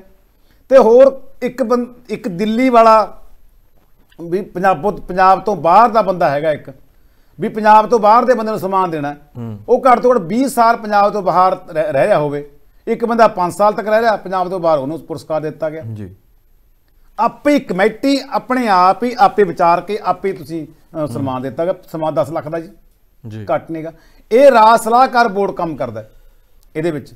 ਤਾਂ ਰਾਜ ਸਲਾਹਕਾਰ ਬੋਰਡ ਮਨਮਰਜ਼ੀ ਦੇ ਲੋਕਾਂ ਨੂੰ ਸਨਮਾਨ ਦਿੰਦਾ ਹੈ। ਹੂੰ। ਇਹ ਕੁਝ ਕੁ ਬੰਦੇ ਦਾ ਬੰਦਾ ਨਾ ਛਾਪਾ ਪਿਆ ਹੋਇਆ। ਕੁਝ ਕੁ ਬੰਦੇ ਕਬਜ਼ਾ ਕਰੀ ਬੈਠੇ ਆ ਰਾਜ ਸਲਾਹਕਾਰ ਬੋਰਡ ਤੇ। ਉਹ ਮਨਮਰਜ਼ੀ ਦਾ ਹਰ ਸਰਕਾਰ ਦੇ ਵਿੱਚ ਹੁੰਦੇ ਆ। ਹੁਣ ਲੋਕਾਂ ਨੂੰ ਆਸ ਬਣੀ ਜਿਹੜੇ ਸਾਹਿਤਕਾਰ ਨੇ ਜਿਹੜੇ ਲੋਕ ਸ਼੍ਰੋਮਣੀ ਸਾਹਿਤਕਾਰੀ ਦੇ ਵਿੱਚ ਜਿਹੜੇ ਲੋਕ ਸ਼੍ਰੋਮਣੀ ਆਪਣਾ ਅਵਾਰਡ ਲੈਣ ਦੇ ਵਿੱਚ ਆਪਣੇ ਆਪ ਨੂੰ ਰੱਖਦੇ ਆ। ਹੂੰ। ਉਹਨਾਂ ਲੋਕਾਂ 'ਚ ਇਹ ਗੱਲ ਬਣੀ ਆ ਕਿ ਆਮ ਆਦਮੀ ਪਾਰਟੀ ਦੀ ਸਰਕਾਰ ਨਵੀਂ ਆਈ ਹੈ, ਉਹ ਇਹ ਪੁਰਸਕਾਰ ਦੇਣ ਦਾ ਸਿਸਟਮ ਬਦਲੇਗੀ। ਕੱਲ ਹਰਜੋਤ ਬੈਂਸ ਪਟਿਆਲੇ ਆਏ ਸੀਗੇ। ਹਰਜੋਤ ਬੈਂਸ ਨੇ ਗੱਲ ਕਿਹਾ ਕਿ ਅਸੀਂ ਰਾਜ ਸਲਾਹਕਾਰ ਬੋਰਡ ਦੇ ਵਿੱਚ ਵੱਡੀਆਂ ਤਬਦੀਲੀਆਂ ਕਰਨ ਜਾ ਰਹੇ ਹਾਂ ਤਾਂ ਕਿ ਪੁਰਸਕਾਰ ਜਿਹੜੇ ਹੈਗੇ ਆ, ਉਹ ਸਹੀ ਬੰਦੇ ਨੂੰ ਮਿਲਣ। ਜੀ। ਜੀ, ਬਿਲਕੁਲ ਜੀ, ਸਮਾਂ ਕਾਫੀ ਘੱਟ ਰਹੇਗਾ ਕਿਦਾ ਸਾਹਿਬ, ਖਬਰਾਂ ਕਈ ਅਹਿਮ ਨੇ। ਆਪਾਂ ਹੌਲੀ ਹੌਲੀ ਕਰਕੇ ਇਹਨਾਂ ਦੇ ਉੱਤੇ ਵੀ ਝਾਤ ਪਾਵਾਂਗੇ। ਸਮਾਰਟ ਕਾਰਡ ਬਣਾਏ ਗਏ ਸੀ। ਸਮਾਰਟ ਕਾਰਡਾਂ ਦੇ ਆਧਾਰ ਦੇ ਉੱਤੇ ਹੀ ਸਹੂਲਤਾਂ ਮਿਲਦੀਆਂ ਨੇ। ਉਹ ਸਮਾਰਟ ਕਾਰਡ ਵੀ ਹੁਣ ਫਰਜ਼ੀ ਪਾਈ ਗਏ ਨੇ। 70000 ਤੋਂ ਵੱਧ ਸਮਾਰਟ ਕਾਰਡ ਆਯੋਗ ਨਿਕਲੇ ਨੇ। ਦੇਖੋ ਜੀ 40 ਲੱਖ 40.68 ਲੱਖ ਜਿਹੜੇ ਹੈਗੇ ਆ ਤਕਰੀਬਨ ਪੌਣੇ 41 ਲੱਖ ਸਮਾਰਟ ਕਾਰਡ ਹੈਗੇ ਨੇ ਸਾਡੇ ਪੰਜਾਬ ਦੇ ਵਿੱਚ। ਜਿਹੜੇ ਕਿ ਸਾਡੇ ਇੰਨੇ ਲੋਕ ਇੰਨੇ ਕੁ ਲੋਕ ਜਿਹੜੇ ਹੈ ਘਰ ਹੈਗੇ ਨੇ ਉਹ ਇੰਨੇ ਵਿੱਚ ਮਤਲਬ ਕਿ ਵੀ ਤਕਰੀਬਨ 41 ਲੱਖ ਘਰ ਸਾਡੇ ਗਰੀਬ ਨੇ ਪੰਜਾਬ ਦੇ ਵਿੱਚ। ਤੇ ਇਹਨਾਂ ਵਿੱਚੋਂ 9.61 ਲੱਖ ਮਤਲਬ ਕਿ 9 ਲੱਖ ਦੇ ਪੌਣੇ 10 ਕੁ ਲੱਖ ਦੇ ਕਰੀਬ ਕਾਰਡਾਂ ਦੀ ਪੜਤਾਲ ਹੋ ਚੁੱਕੀ ਆ। ਇਹਨਾਂ ਦੇ ਵਿੱਚੋਂ 68.68800 ਰਾਸ਼ਨ ਕਾਰਡ ਜਿਹੜੇ ਹੈਗੇ ਆ ਸਮਾਰਟ ਕਾਰਡ ਉਹ ਨਿਕਲੇ ਆ ਅਜੋਗ। ਅਜੋਗ ਮਲੇ ਗਲਤ। ਜੀ। ਜਿਹੜੇ ਕਿ ਬਹੁਤ ਅਸਰਦਾਰ ਨੇ। ਅਰਸੂਖਦਾਰ ਬੰਦੇ ਨੇ ਉਹ ਜਿਨ੍ਹਾਂ ਨੂੰ ਇੱਕ ਸਮਾਰਟ ਕਾਰਡ ਬਣੇ ਹੋਏ ਆ। ਘਰੇ ਟਰੈਕਟਰ ਵੀ ਖੜੇ ਨੇ ਗੱਡੀਆਂ ਵੀ ਖੜੀਆਂ ਕੋਠੀਆਂ ਵੀ ਹੈਗੇ ਨੇ। ਵੱਡੇ ਬੰਦਿਆਂ ਦੇ ਸਮਾਰਟ ਕਾਰਡ ਮਤਲਬ ਕਿ 70000 ਦੇ ਕਰੀਬ ਲਾਭਪਾਤਰੀ ਅਯੋਗ ਨੇ ਜਿਹੜੇ ਵੱਡੇ ਹੈਗੇ, ਸਿਰਫ 9-10 ਲੱਖ ਕਾਰਡਾਂ ਦੀ ਜਾਂਚ ਹੋਈ ਆ ਜੇ ਜਿਹਦਾ 40 ਲੱਖ ਕਾਰਡ ਰਹਿੰਦੇ ਆ ਪੰਜਾਬ ਦੇ ਵਿੱਚ, ਇੰਨੇ ਲੋਕ ਅਯੋਗ ਪਾਏ ਗਏ ਆ। ਇਹ ਇਹ ਜਾਂਚ ਚੱਲ ਰਹੀ ਆ ਤੇ ਇਹਦੇ ਚ ਕਾਰਵਾਈ ਜਿਹੜਾ ਲੋਕਾਂ ਨੇ ਕਾਰਡ ਬਣਾਇਆ ਨਾ ਜੀ, ਉਹਨਾਂ ਦੇ ਕਾਰਵਾਈ ਹੋਣੀ ਚਾਹੀਦੀ ਆ। ਜੀ। ਬਿਲਕੁਲ ਜੀ, ਤੇ ਕਾਫੀ ਕਰੋੜਾਂ ਰੁਪਏ ਲਾ ਕੇ ਕੈਮਰੇ ਲਗਾਏ ਗਏ ਸੀਗੇ ਚੰਡੀਗੜ੍ਹ ਦੇ ਵਿੱਚ। ਡਿਜੀਟਲ ਕੈਮਰੇ ਸੀ 300 ਕਰੋੜ ਦੇ ਪਰ ਇਹ ਕਹਿੰਦੇ ਜੀ ਪੂਰੀ ਤਰ੍ਹਾਂ ਦੇ ਨਾਲ ਆਪਣਾ ਕੰਮ ਕਰ ਨਹੀਂ ਰਹੇ। ਹਾਂ ਚੰਡੀਗੜ੍ਹ ਦੇ ਵਿੱਚ ਜਿਹੜਾ 300 ਕਰੋੜ ਦਾ ਪ੍ਰੋਜੈਕਟ ਸੀਗਾ ਜੀ ਇਹ ਇਹਦੇ ਵਿੱਚ ਆਰਟੀਏ ਵਿੱਚ ਖੁਲਾਸਾ ਹੋਇਆ ਤੇ ਬਹੁਤ ਸਾਰੇ ਤਕਰੀਬਨ ਤਕਰੀਬਨ 20% ਕੈਮਰੇ ਕੰਮ ਨਹੀਂ ਕਰ ਰਹੇ। ਤੁਸੀਂ ਜਾਓਗੇ ਨਾ ਜਾਓਗੇ ਤੇ ਗੱਡੀ ਦਾ ਬੜਾ ਡਰ ਹੁੰਦਾ ਕਿ ਜੈਬਰਾ ਕ੍ਰੋਸਿੰਗ ਤੋਂ ਇੱਧਰ ਇੱਧਰ ਰੱਖੋ ਗੱਡੀ ਆਪਾਂ। ਸੌਰੀ ਗਾਰਡ ਰੁਕਦਾ। ਤੇ ਗਲੀ ਗੱਡੀ ਰੱਖੋ ਆਪਾਂ ਪਰ ਜੈਬਰਾ ਕ੍ਰੋਸਿੰਗ ਦੇ ਅੱਗੇ ਲੰਘੇ ਤਾਂ ਚਲਾਨ ਕੱਟ ਜਾਂਦਾ ਤੁਹਾਡਾ। ਤੇ ਪਤਾ ਨਹੀਂ ਕਿਹੜਾ ਜੈਬਰਾ ਕ੍ਰੋਸਿੰਗ ਦਾ ਕੈਮਰਾ ਖਰਾਬ ਹੈ ਕਿਹੜਾ ਸਹੀ ਆ। ਕਿਹੜਾ ਤੁਹਾਡੀ ਅੱਛਾ ਬਹੁਤ ਸਾਰੇ ਜੈਬਰਾ ਕ੍ਰੋਸਿੰਗ ਹੈ ਹੀ ਨਹੀਂ ਗਈਆਂ ਉਹ ਮਿਟ ਗਈਆਂ ਉੱਥੇ ਚੰਡੀਗੜ੍ਹ ਦੇ ਵਿੱਚ। ਬਹੁਤ ਸਾਰੀਆਂ ਜੈਬਰਾ ਕ੍ਰੋਸਿੰਗ ਮਿਟ ਗਈਆਂ ਹੈ ਨਹੀਂ ਗਈਆਂ ਉਹਦੇ ਪਤਾ ਨਹੀਂ ਕਿਵੇਂ ਕੈਮਰਾ ਉਹਨੂੰ ਜਾਂਚ ਲੈਂਦਾ। ਤੇ ਮਤਲਬ 20% ਕੈਮਰੇ ਚੰਡੀਗੜ੍ਹ ਦੇ ਵਿੱਚ ਖਰਾਬ ਚੱਲ ਰਹੇ ਨੇ। ਇਹ ਆਰਟੀਆਈ ਚ ਖੁਲਾਸਾ ਹੋਇਆ। ਇਹਦਾ ਉਦਘਾਟਨ ਕੀਤਾ ਸੀਗਾ ਸਾਡੇ ਗ੍ਰਹਿ ਮੰਤਰੀ ਅਮਰ ਸ਼ਾਹ ਜੀ ਨੇ। ਇਸ ਕੈਮਰੇ ਦਾ ਇਹ ਸਰਵੇਲੈਂਸ ਦਾ। ਪਰ ਇਹਦੇ ਵਿੱਚ ਬਹੁਤ ਸਾਰੇ ਖਰਾਬ ਹੋ ਚੁੱਕੇ ਨੇ ਖਾਸ ਕਰਕੇ ਜੀ। ਪਾਇਲ ਦੇ ਮੌਜੂਦਾ ਐਮਐਲਏ ਵੀ ਕਾਫੀ ਚਰਚਾ ਦੇ ਵਿੱਚ ਨੇ ਕਿਉਂਕਿ ਉਹਨਾਂ ਦਾ ਕਰੀਬੀ ਚਰਚਾ ਦੇ ਵਿੱਚ ਆ ਚੁੱਕਿਆ ਹੈ ਜਿਹਦੇ ਲਈ ਇੱਕ ਅਨਾਉਂਸਮੈਂਟ ਹੋਈ ਹੈ। ਉਹ ਤੁਹਾਡੇ ਤੋਂ ਜਾਣਾਂਗੇ ਕਿੱਦਾਂ ਸਭ ਕੀ ਹੋਇਆ। ਅਸਲ 'ਚ ਨਾ ਪੰਮਾ ਜਿਹੜਾ ਹੈਗਾ ਇੱਕ ਉਹਦਾ ਕਰੀਬੀ ਹੈਗਾ। ਉਹਦੇ ਖਿਲਾਫ ਇੱਕ ਅਨਾਉਂਸਮੈਂਟ ਕਰ ਰਿਹਾ ਬੰਦਾ ਗੱਡੀ ਦੇ ਵਿੱਚ ਭੌਂਪੂ ਲਾ ਕੇ ਨਾ। ਤੇ ਅਨਾਉਂਸਮੈਂਟ ਕਰ ਰਿਹਾ ਵੀ ਭਾਈ ਨਿਕਲ ਬਾਹਰੋਂ ਪੰਮਿਆਂ ਤੂੰ। ਹੂੰ। ਤੂੰ ਨਿਕਲ ਬਾਹਰ ਪੰਮਾ ਬਾਂਦਰ। ਹੂੰ। ਇਹ ਸ਼ਬਦ ਵਰਤ ਰਿਹਾ ਇਹ ਲਾਪਤਾ ਹੋ ਗਿਆ। ਤੇ ਉਹ ਕਹਿੰਦਾ ਇਹ ਮੇਰੇ ਇੱਕ ਦੋਸਤ ਨੂੰ ਮਾਰਨ ਦੀਆਂ ਧਮਕੀਆਂ ਦੇ ਰਿਹਾ। ਪੰਮਾ। ਹੂੰ। ਇਹ ਹੈਗਾ ਪੈਰ ਦੇ ਐਮਐਲਏ ਦਾ ਕਰੀਬੀ। ਇਹ ਨਿਕਲ ਬਾਹਰ ਕਹਿੰਦਾ ਤੂੰ ਆ ਕੇ ਬਾਹਰ ਤੇ ਤੈਨੂੰ ਦੱਸਾਂ ਪਤਾ ਮੈਂ। ਮਤਲਬ ਕਿ ਇਹੋ ਜੀਆਂ ਉਹਦਾ ਉਹ ਦੇ ਰਿਹਾ ਅਨਾਉਂਸਮੈਂਟ ਕਰ ਰਿਹਾ ਪਰ ਉਹ ਬਾਹਰ ਨਹੀਂ ਆਉਂਦਾ। ਨਾ ਹੀ ਪੁਲਿਸ ਕਾਰਵਾਈ ਕਰਦੀ ਹੈ ਕੋਈ। ਹੂੰ। ਉਤੇ ਚਰਚਾ ਇਹ ਆ ਕਿ ਹੁਣ ਕੀ ਐਦਾਂ ਧਮਕੇ ਦੇਣ ਲੱਗ ਪਏ ਨੇ ਐਮਐਲਏ ਦੇ ਕਰੀਬੀ ਲੋਕਾਂ ਨੂੰ ਮਾਰਨ ਦੀਆਂ। ਤੇ ਫਿਰ ਬੰਦਾ ਅਨਾਉਂਸਮੈਂਟ ਕਰਦਾ ਜਾ ਰਿਹਾ ਬਾਹਰਲੇ ਪਾਸੇ ਗੱਡੀ ਲੈ ਕੇ ਤੂੰ ਬਾਹਰ ਆ ਗਿਆ ਲਾਪਤਾ ਹੋ ਗਿਆ। ਮਤਲਬ ਕਿ ਕੀ ਇਹੋ ਜਿਹੇ ਲੋਕ ਜਿਹੜੇ ਹੈਗੇ ਆ, ਇਹੋ ਜਿਹੇ ਲੋਕ ਪੈਦਾ ਹੋ ਚੁੱਕੇ ਆ ਆਮ ਆਦਮੀ ਪਾਰਟੀ ਦੇ ਵਿੱਚ? ਕੀ ਹੌਲੀ ਹੌਲੀ ਸਿਸਟਮ ਵਿਗੜ ਰਿਹਾ ਆਮ ਆਦਮੀ ਪਾਰਟੀ ਦਾ? ਲੋਕਾਂ ਦੇ ਵਿੱਚ ਧਮਕੇ ਦੇਣ ਦਾ ਗੱਲ ਸਾਰੀ ਜਾਰੀ ਹੋ ਗਈ ਆ। ਇਹ ਗੱਲ ਇਸ ਅਨਾਉਂਸਮੈਂਟ ਨਾਲ ਸਾਬਤ ਹੋ ਰਹੀ ਆ। ਵੈਸੇ ਪੁਲਿਸ ਨੂੰ ਕਾਰਵਾਈ ਕਰਨੀ ਚਾਹੀਦੀ ਆ। ਕਿਸੇ ਤੇ ਵੀ, ਭਾਵੇਂ ਆਮ ਆਦਮੀ ਪਾਰਟੀ ਦੇ ਪੰਮਾ ਹੋਵੇ, ਭਾਵੇਂ ਜਿਹੜਾ ਅਨਾਉਂਸਮੈਂਟ ਕਰਨ ਵਾਲਾ ਬੰਦਾ ਹੋਵੇ। ਜਿਹਦੀ ਗਲਤੀ ਆ ਉਸ ਦੇ ਖਿਲਾਫ ਕਾਰਵਾਈ ਕਰਨੀ ਬਣਦੀ ਹੈ ਪੁਲਿਸ ਨੂੰ ਅੰਮ੍ਰਿਤਸਰ ਦੇ ਵਿੱਚ ਆਈਐਮਏ ਦੇ ਦੋ ਧੜੇ ਬਣ ਗਏ ਨੇ ਜੀ ਆਈਐਮਏ ਜਿਹੜੀ ਡਾਕਟਰਾਂ ਦੇ ਨਾਲ ਸੰਬੰਧਿਤ ਇੱਕ ਫੈਡਰੇਸ਼ਨ ਆ ਉਹ ਦੋ ਧੜੇ ਹੋ ਗਏ ਨੇ ਜੀ ਉੱਥੇ। ਹੈਗੀ ਹੈ ਇੰਡੀਅਨ ਮੈਡੀਕਲ ਐਸੋਸੀਏਸ਼ਨ ਇਹਨਾਂ ਦੀ ਚੋਣ ਸੀਗੀ ਜੀ। ਡਾਕਟਰ ਬੜਾ ਪਵਿੱਤਰ ਪੇਸ਼ਾ ਹੁੰਦਾ ਨਾ ਆਪਾਂ ਕਹਿੰਦੇ। ਆ ਪਰ ਕੱਲ ਜਦੋਂ ਗਾਲੀ ਗਲੋਜ਼ ਦੇਖਿਆ ਨਾ ਸੁਣਿਆ ਉਹਨਾਂ ਦਾ ਉਹ ਬਿਲਕੁਲ ਆਨਲਾਈਨ ਵੀਡੀਓ ਜਾਰੀ ਹੋ ਗਈ ਤਾਂ ਸੁਣ ਕੇ ਲੱਗਿਆ ਨਹੀਂ ਯਾਰ ਡਾਕਟਰ ਵੀ ਇਹੋ ਜਿਹੇ ਹੁੰਦੇ ਆ।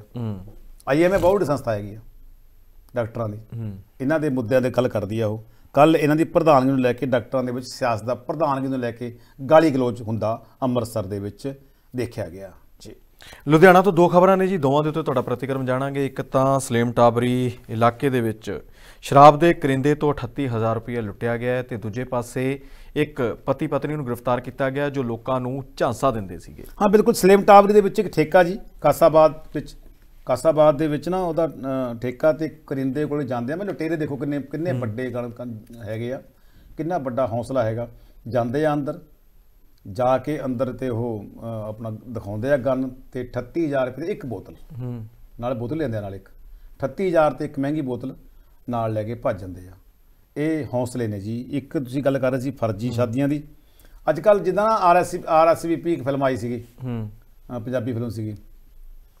ਰੋਂਦੇ ਸਾਰੇ ਵਿਆਹ ਪਿੱਛੋਂ ਮੇਰੇ ਖਿਆਲ ਨਾਂ ਸੀ ਪੂਰਾ ਨਹੀਂ। ਤੇ ਉਹ ਫਿਲਮ ਜਿਹੜੀ ਹੈਗੀ ਸੀ ਉਹ ਸੰਦਰਭ ਦੇ ਵਿੱਚ ਨਾ ਜੀ ਇੱਕ ਰੀਨਾ ਤੇ ਵਿੱਕੀ ਨਾਂ ਦੇ ਬੰਦੇ ਲੁਧਿਆਣੇ ਦੇ ਨੇ ਤੋਂ ਉਹ ਪੰਜਾਬ ਤੋਂ ਬਾਹਰ ਲੋਕਾਂ ਨੂੰ ਲੁੱਟਦੇ ਸੀਗੇ ਸ਼ਾਦੀ ਕਰਾਉਂਦੇ ਸੀ ਵਿਆਹ ਨਾਲੇ ਸੀਗੇ ਬੱਚਿਆਂ ਵਾਲੀ ਜਨਾਨੀ ਆ ਇਹ ਜਿਹੜੀ ਰੀਨਾ ਹੈਗੀ ਆ ਬੱਚਿਆਂ ਵਾਲੀ ਆ।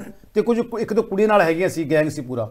ਤੇ ਉਹ ਪੂਰਾ ਜਦੋਂ ਪਤਾ ਲੱਗਿਆ ਪਰਦਾ ਫਾਸ਼ ਹੋਇਆ ਤੇ ਉਹ ਫਿਰ ਕੱਲ ਅੰਬਾਲੇ ਦੀ ਪੁਲਿਸ ਨੇ ਇਹਨਾਂ ਨੂੰ ਗ੍ਰਿਫਤਾਰ ਕਰ ਲਿਆ ਫਰਜ਼ੀ ਸਾਦੀਆਂ ਕਰਾ ਕੇ ਪੈਸੇ ਲੁੱਟਦੇ ਸੀਗੇ। ਬਚ ਕੇ ਰਹੋ ਭਾਈ ਕੋਈ ਵੀ ਜਿਹੜੇ ਵਿਚੋਲੇ ਵਿਚਾਲੇ ਹੁੰਦੇ ਆ ਪਤਾ ਨਹੀਂ ਕਿੱਥੇ ਕਿਹੜੀ ਸਾਦੀ ਫਰਜ਼ੀ ਹੋ ਜਵੇ ਬਚ ਬਚ ਕੇ ਰਹਿਣਾ ਚਾਹੀਦਾ ਆਪਣਾ। ਜੀ। ਮਹਾਤਮਾ ਗਾਂਧੀ ਦੀ ਵੀ ਪੂਜਾ ਹੁੰਦੀ ਹੈ ਜੀ ਹਿਮਾਚਲ ਪ੍ਰਦੇਸ਼ ਦੇ ਵਿੱਚ ਇੱਕ ਮੰਦਿਰ ਬਣਿਆ ਹੋਇਆ। ਹੈ ਇਹ ਹਾਂ ਇਹ ਬੜਾ ਵੱਡੀ ਗੱਲ ਤੁਸੀਂ ਦੱਸਿਆ ਜੀ। ਹਾਂ। ਹਮ ਹਿਮਾਚਲ ਪ੍ਰਦੇਸ਼ ਜ਼ਿਲ੍ਹਾ ਸਰਮੌਰ ਦਾ ਪੌਂਟਾ ਸਾਹਿਬ ਉਪ ਮੰਡਲ ਵਿੱਚ ਇੱਕ ਭੋਜ ਖੇਤਰ ਹੈਗਾ ਜੀ ਉਹਦਾ ਪਿੰਡ ਹੈਗਾ ਅੰਬੋਆ ਜੀ। ਅੰਬੋਆ ਪਿੰਡ ਦੇ ਵਿੱਚ ਮਹਾਤਮਾ ਗਾਂਧੀ ਦਾ ਮੰਦਿਰ ਹੈ। ਹੂੰ। ਕੱਲ ਮਹਾਤਮਾ ਗਾਂਧੀ ਦੀ ਜਯੰਤੀ ਸੀਗੀ। ਨਾ ਉਹ ਸੀ ਆਪਣਾ ਕੱਲ ਜਯੰਤੀ ਸੀ ਮੇਰੇ ਖਿਆਲ ਚ। ਜਯੰਤੀ 2 ਅਕਤੂਬਰ ਨੂੰ ਹੁੰਦੀ ਹੈ। ਕੱਲ ਵੀ ਮੇਰੇ ਖਿਆਲ ਕਿ ਮੌਤ ਦਿਵਸ ਸੀ ਕੱਲ ਉਹਦਾ। ਹਾਂ ਇਹ ਇਹਨਾਂ ਦਿਨਾਂ ਦੇ ਵਿੱਚ ਨਾ ਜੀ ਮਹਾਤਮਾ ਗਾਂਧੀ ਦੇ 3 ਦਿਨ ਮੇਲਾ ਭਰਦਾ ਉੱਥੇ। ਹੂੰ।